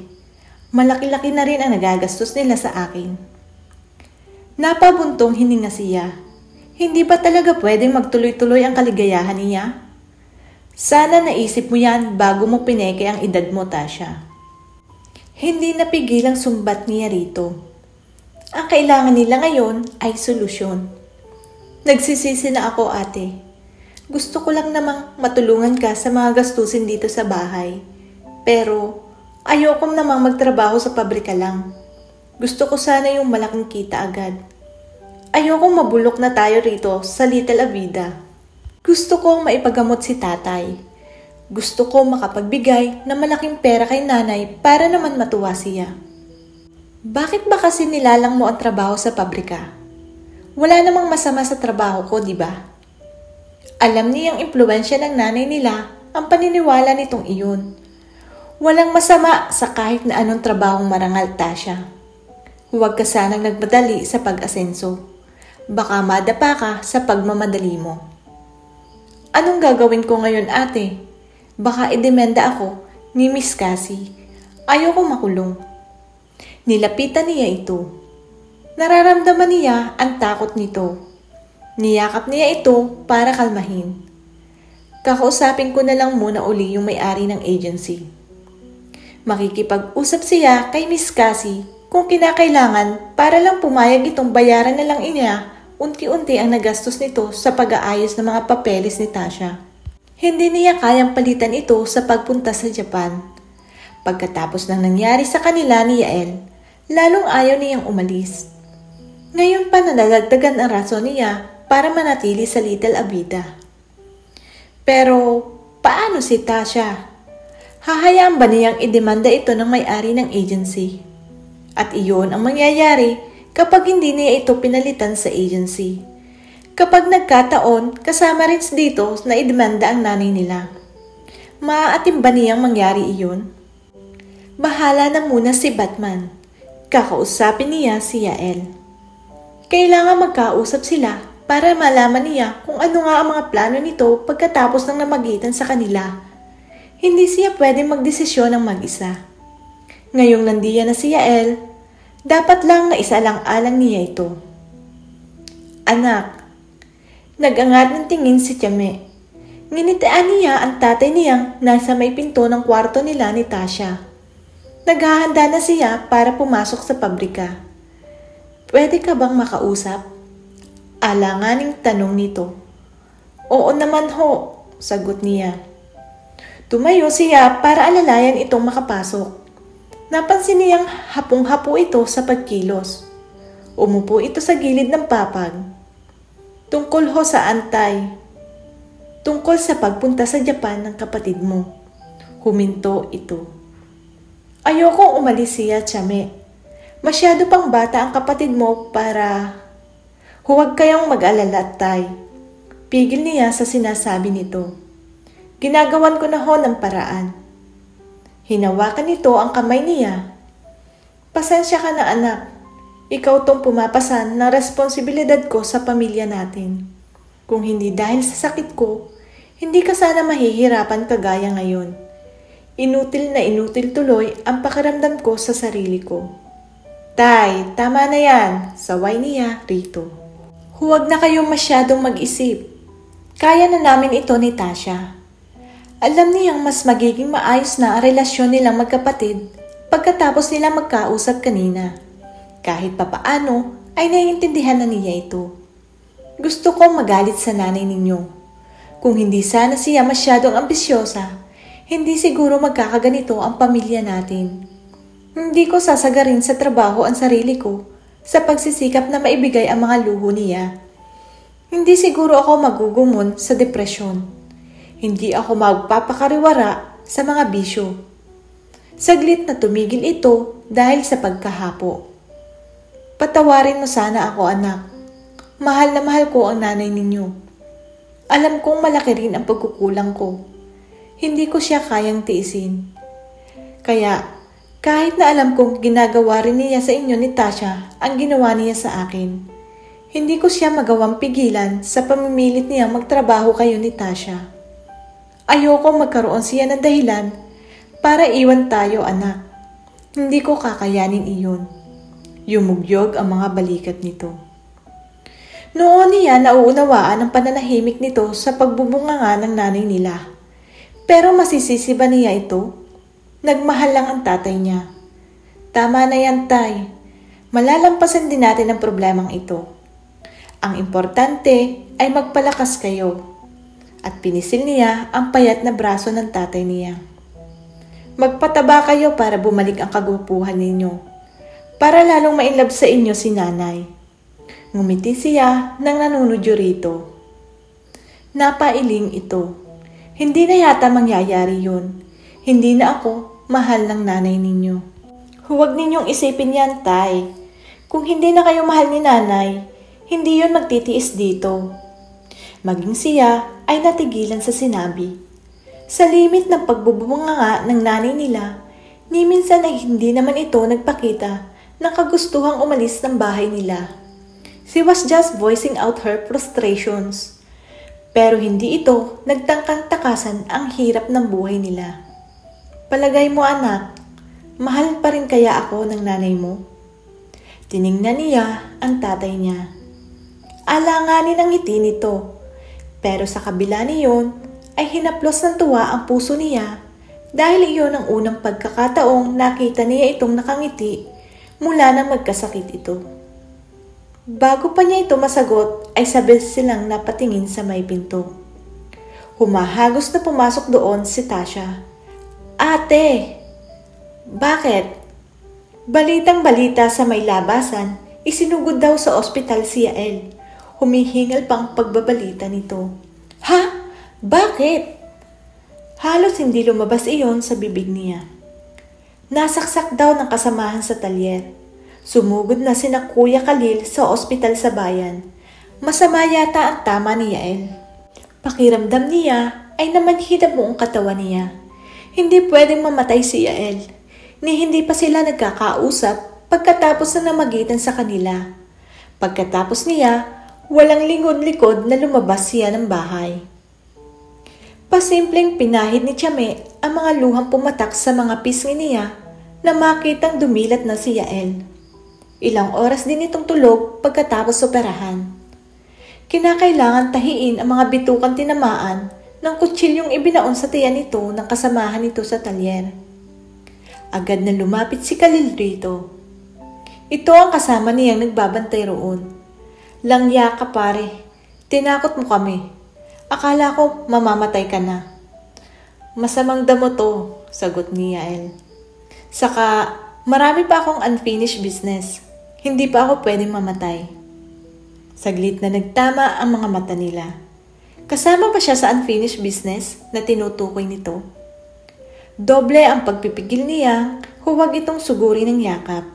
Masyado siyang pinag-alala nito. Siya nga pala, ihandaan mo ang sarili mo. Pupunta mamaya rito yung investigador para alamin ang version mo sa pananaksak sa iyo. Kailangan mo ring mag-file ng formal complaint para mahuli yung gumawa sa iyo nito. Nakatakas pa ang walang hiya. Wala man lang nakahuli sa mga kasamahan mo sa talyer. Hindi ako magdidemanda, sagot ni Yael. Mahina lang ang pagkakasabi nito, kaya duda siya kung tama ba ang dinig niya. Nagkatinginan sila ni Khalil.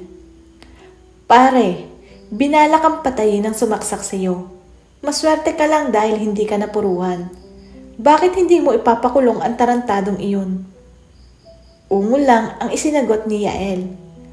Kailangan makulong ang gumawa nito sa iyo, Yael, sabad niya.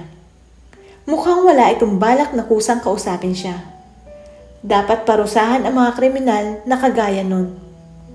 Ako naman ang nasaksak. Ako ang dapat magpasya kung magdedemanda ako o hindi. Pasya ko, hindi. Kay Khalil ito nakatingin habang sinasabi iyon. Nainis tuloy siya rito. Ano? Ganun na lang ba yon, Yael? Napailing si Khalil. Mabuti na lang at pareho sila ng stand nito. Ibig mong sabihin, hahayaan mong pagalagala ang kriminal na yun? Paano kung matsyempohan ka na naman nun at saksakin uli? Baka hindi mo na maligtasan ang susunod. Kakausapin ko siya, sagot nito. Napapalatak si Khalil. Ano bang pinagawayan ninyo pare? Walang gustong magsalita sa mga kasamahan mo sa talyer. Napatingin sa kanya si Yael. Ipinakita niya rito ang naghihintay siya sa isasagot nito. Hindi lang kami nagkakaintindihan, sagot nito. Delikado naman pala ang taong yan. Ibig sabihin, tuwing meron siyang hindi makakaintindihan, mananaksak siya. Komento niya. Parang may tinatago si Yael sa kanila. Iyon lang ang naisip niyang dahilan para hindi ito formal na ireklamo ang nanaksak dito. It did not make any sense. Dapat, turuan ng leksyon ang lalaking sumaksak dito. Pero, parang baliwala kay Yael kung nag-50-50 man ang buhay nito. Yael, may katwiran si Chame. Ang mga ganong klaseng tao, hindi dapat hinahayaang malaya. Delikado. Yun sa safety mo at ng ibang tao. Sunod-sunod ang ginawa nitong pagiling. Final na ang desisyon ko. Hindi ako magdedemanda. Nagpapasaklolong tumingin siya kay Khalil. Pero nagkipit balikat lang ito. Hudyat na ayaw na nitong makialam. Inis na inis siya sa katigasan ng ulo ni Yael. Kahit sa ang anggulo niya tingnan, hindi niya makuha ang punto nito. Lalo tuloy siyang nakumbinsi na may itinatago ito. Hindi nito po proteksyonan ang taong sumaksak dito kung wala itong itinatago. May ipapagawa ka ba, miss? Tanong ng lalaking lumapit kay Chame. Pumasok siya sa garahe kung saan naroon ang talyer na pinagtatrabahuhan ni Yael. Wala ho. Magtatanong-tanong lang ako tungkol sa nangyaring pananaksak dito kay Yael. Diretsong sagot niya. Napansin niyang napatingin sa kanya ang ibang mekaniko roon. Ang isang nakahiga sa ilalim ng makina ay talagang sinili pa siya. Kumusta ang lagay ni Yael? Ligtas ba siya? Tanong ng lalaking sumalubong sa kanya. Tumango siya. Nako, mabuti naman. Akala namin dito napuruhan siya ni Elmer. Alam niyo ho ba kung anong pinag-awayan nila ni Yael? Mang... Hulyo. Mang Hulyo ang tawag ng lahat sa akin dito. Pakilala nito sa sarili. Mang Hulyo? Alam niyo ho ba kung anong pinag-awayan ni na Elmer at Yael? Ulit niya sa tanong kanina. Napatingin ito sa ibang kasamahan. Halata ang pag-aalinlangan sa mukha nito. Bago pa ito nakasagot, ay isang boses ng babae ang narinig niya mula sa likuran niya. Customer ba yan? Hindi ho ma'am, girlfriend ho ni Yael. Nagtatanong lang tungkol sa pinag-awayan ni na Yael at Elmer. Napatingin siya rito wala siyang natatanda ang nagpakilala sila bilang girlfriend ni Yael.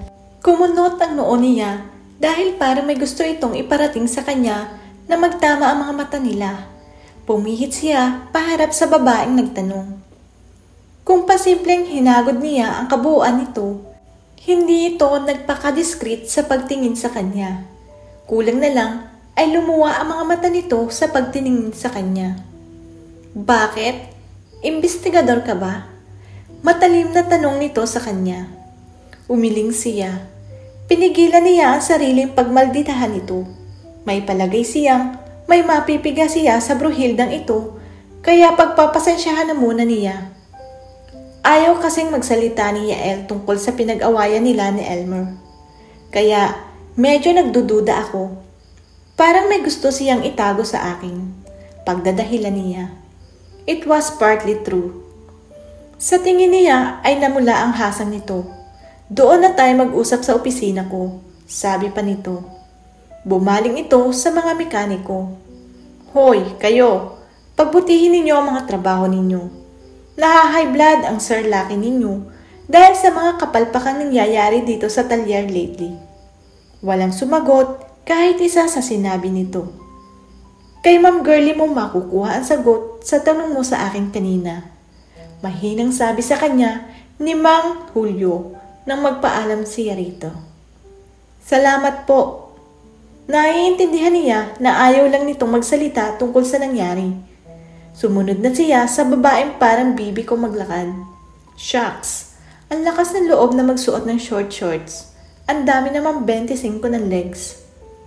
Girlfriend ka ni Yael?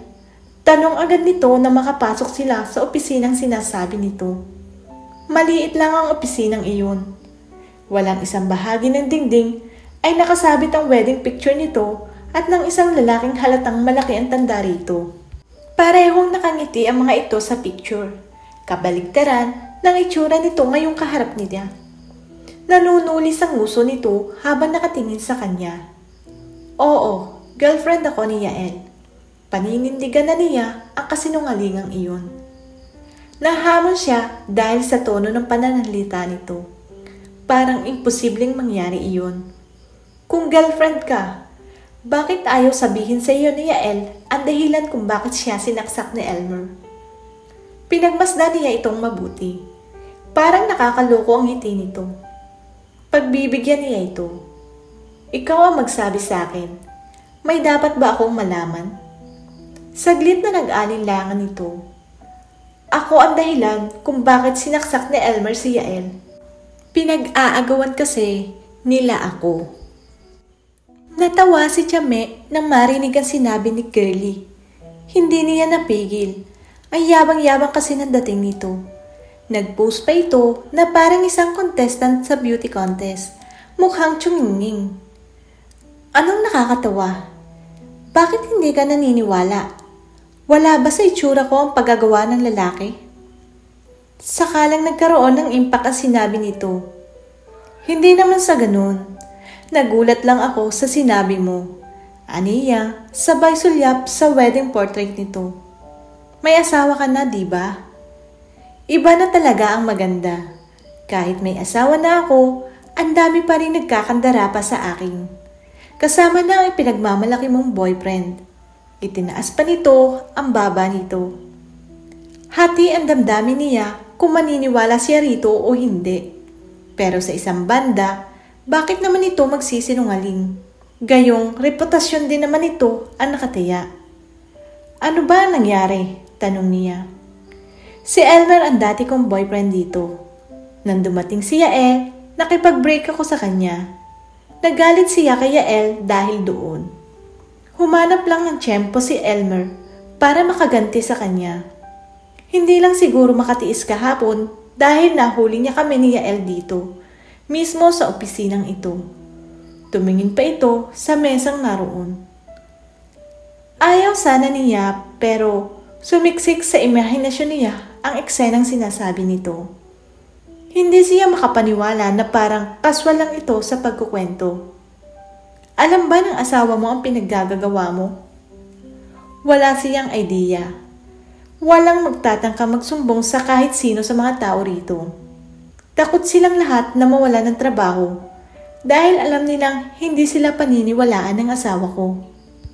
Eh, kung ako kaya magsumbong, hindi pa rin kaya siya maniniwala? Ni hindi ito natigati. Lalo niyang napatunayan na makapalamukha nito. Hindi man lang ito kumurap sa pagbabanta niya. Patunay lang na wala itong takot sa ginagawa niya. Huwag mo akong problemahin. Babae ka. Ang intindihin mo kung paano mo pipigilan ang boyfriend mo sa pakikipagrelasyon sa akin. Anito, at saka nakakaloko pang pagtawa. Katapos, ay puno ng mali tiningnan siya nito. Dapat siguro, umattend ka ng seminar sa akin para naman malaman mo kung ano ang mga gustong posisyon ni Yael sa kama. Nandidiri siya sa mga pinagsasabi nito. Hindi niya lubos maisip kung paano nito nasisikmurang pumatol sa hindi nito asawa. Subalit higit pa roon ang nararamdaman niyang galit kay Yael. Lumalabas na pagkatapos nito sa kanya ng nagdaang gabi, ay sa kandungan naman ni Girlie ito lumipat. Oh, natulala ka riyan? Sabihin mo lang kung kailan ka available. I-schedule ko ang seminar para sa iyo. Nakangiting untag nito sa kanya. Napailing siya. Hindi niya kere ang kakapala ng mukha nito. Tumayo na siya. Nalaman na niya ang gusto niyang malaman mula rito. Tama si Mang Julio. Si Girlie ang makakasagot sa tanong niya. Sobra-sobra pa ang ibinigay nitong impormasyon kung tutuusin. Oh, hindi ka malang ba magpapasalamat sa akin? Habol pa nito sa kanya. Nilingon niya ito at saka sarkastikong umiti. Pag-iisipan ko kung paano ko sasabihin sa asawa mo ang mga pinaggagawa mo. Mabuti pa siguro iyon na lang ipambargain ko kay Elmer para hindi siya e demanda ni Yael. Ano kaya ang sasabihin ng asawa mo kung sa bibig mismo ng kalaguyo mo manggagaling ang mga kalokohan mo? Hindi basta maniniwala si Lucky sa inyo. Nahimigan niyang nabawasan na ang tapang sa boses nito. Maluwang siyang umiti. Huwag kang masyadong pakasiguro. Mukhang matindi ang galit ng Elmer na yun dahil pinagpalit mo siya. Pero dapat malinawan siya na hindi si Yael dapat niyang gantihan, kundi ikaw. Hindi mo gagawin yan. Mapapahamak din si Yael kapag... Hindi pa ba siya napahamak? Putol niya sa sinasabi nito. Magpaka-faithful ka sa asawa mo. Hindi habang panahon ay mabibilog mo ang ulo niya. Pagkasabi niyon ay tumalikod na siya. Paglabas pa lang niya ng pinto ay parang lobong na deflate ang katapangan niya. Nanlalambot siya sa mga narinig mula kay Girlie. Pero ayaw niyang mawalan agad ng pag-asa. Tatanungin niya si Yael. She would give him the benefit of the doubt. Pwede ka bang makausap? Diretsang tanong ni Chame kay Yael. Pagdating niya sa ospital.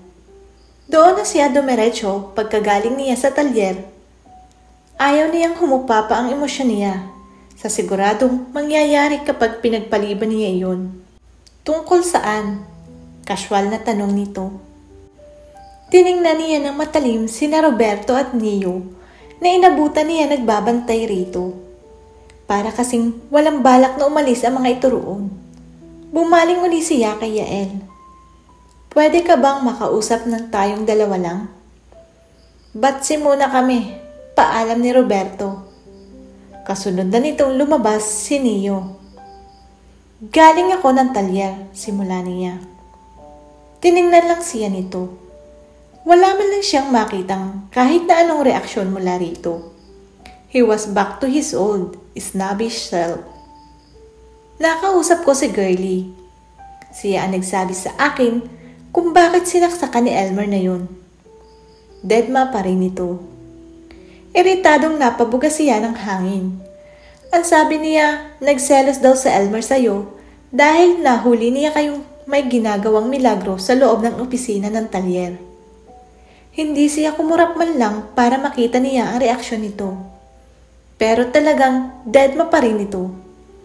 Hindi mo man lang itatanggi ang sinabi niyang may relasyon kayo na may nangyari sa inyo sa opisina nila?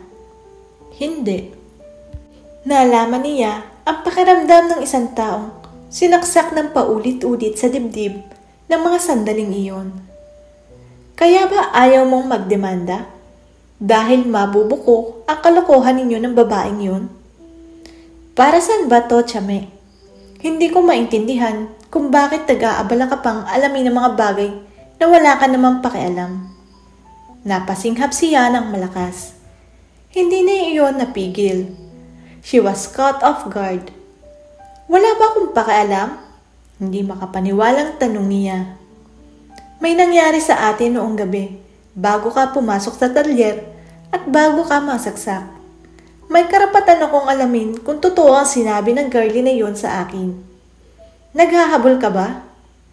Hindi siya makapaniwala sa mga one-liner na binitawan nito kanina pa. He sounded detached. Para bang Ipinamumukha nito sa kanya na wala talaga siyang karapatang magtanong. May nangyari sa atin. At virgin ako nang makuha mo ako. Gusto niyang isigaw iyon sa pagmumukha nito. Dahil lang doon kaya umaat sa ka ng ganyan? Na para bang may karapatan ka na sa akin? Sunod-sunod ang ginawa niyang pag-iling. Kulang na lang ay diretsong sabihin ito sa kanya na wala siyang pakialam sa buhay nito. Akala ko, one night stand lang ang nangyari sa atin, Chame. Pareho natin ginusto yun. Pumayag ka na mangyari yun. Wala akong natatandang pinilit kita na may mangyari sa ating dalawa. Huminto ito at tinangnan siya. He was looking at her indifferently. Ibang-iba iyon sa mga titig na ibinigay nito sa kanya nung nasa kwarto sila nito. Ano naman ang inaasahan mo, Chame? You were making love then. Dala lang iyon ng tawag ng laman. Natural lang natitigang kaniya na parang sinasamba ka niya. Totoong may nangyari sa inyo ni Girlie pagkatapos na may mangyari sa ating dalawa. Masokista na yata siya dahil nagawa pa rin niyang itanong iyon dito. Tumango ito. She thought she died right that moment. Ano kaya ang susunod na hakbang ni Chame pagkatapos na pag-uusap nila ni Yael? Mapatawad pa kaya niya ito sa lahat ng sinabi nito sa kanya? Abangan po natin sa susunod na kabanata ng ating kwentong Mr. Simpatico. Maraming salamat po.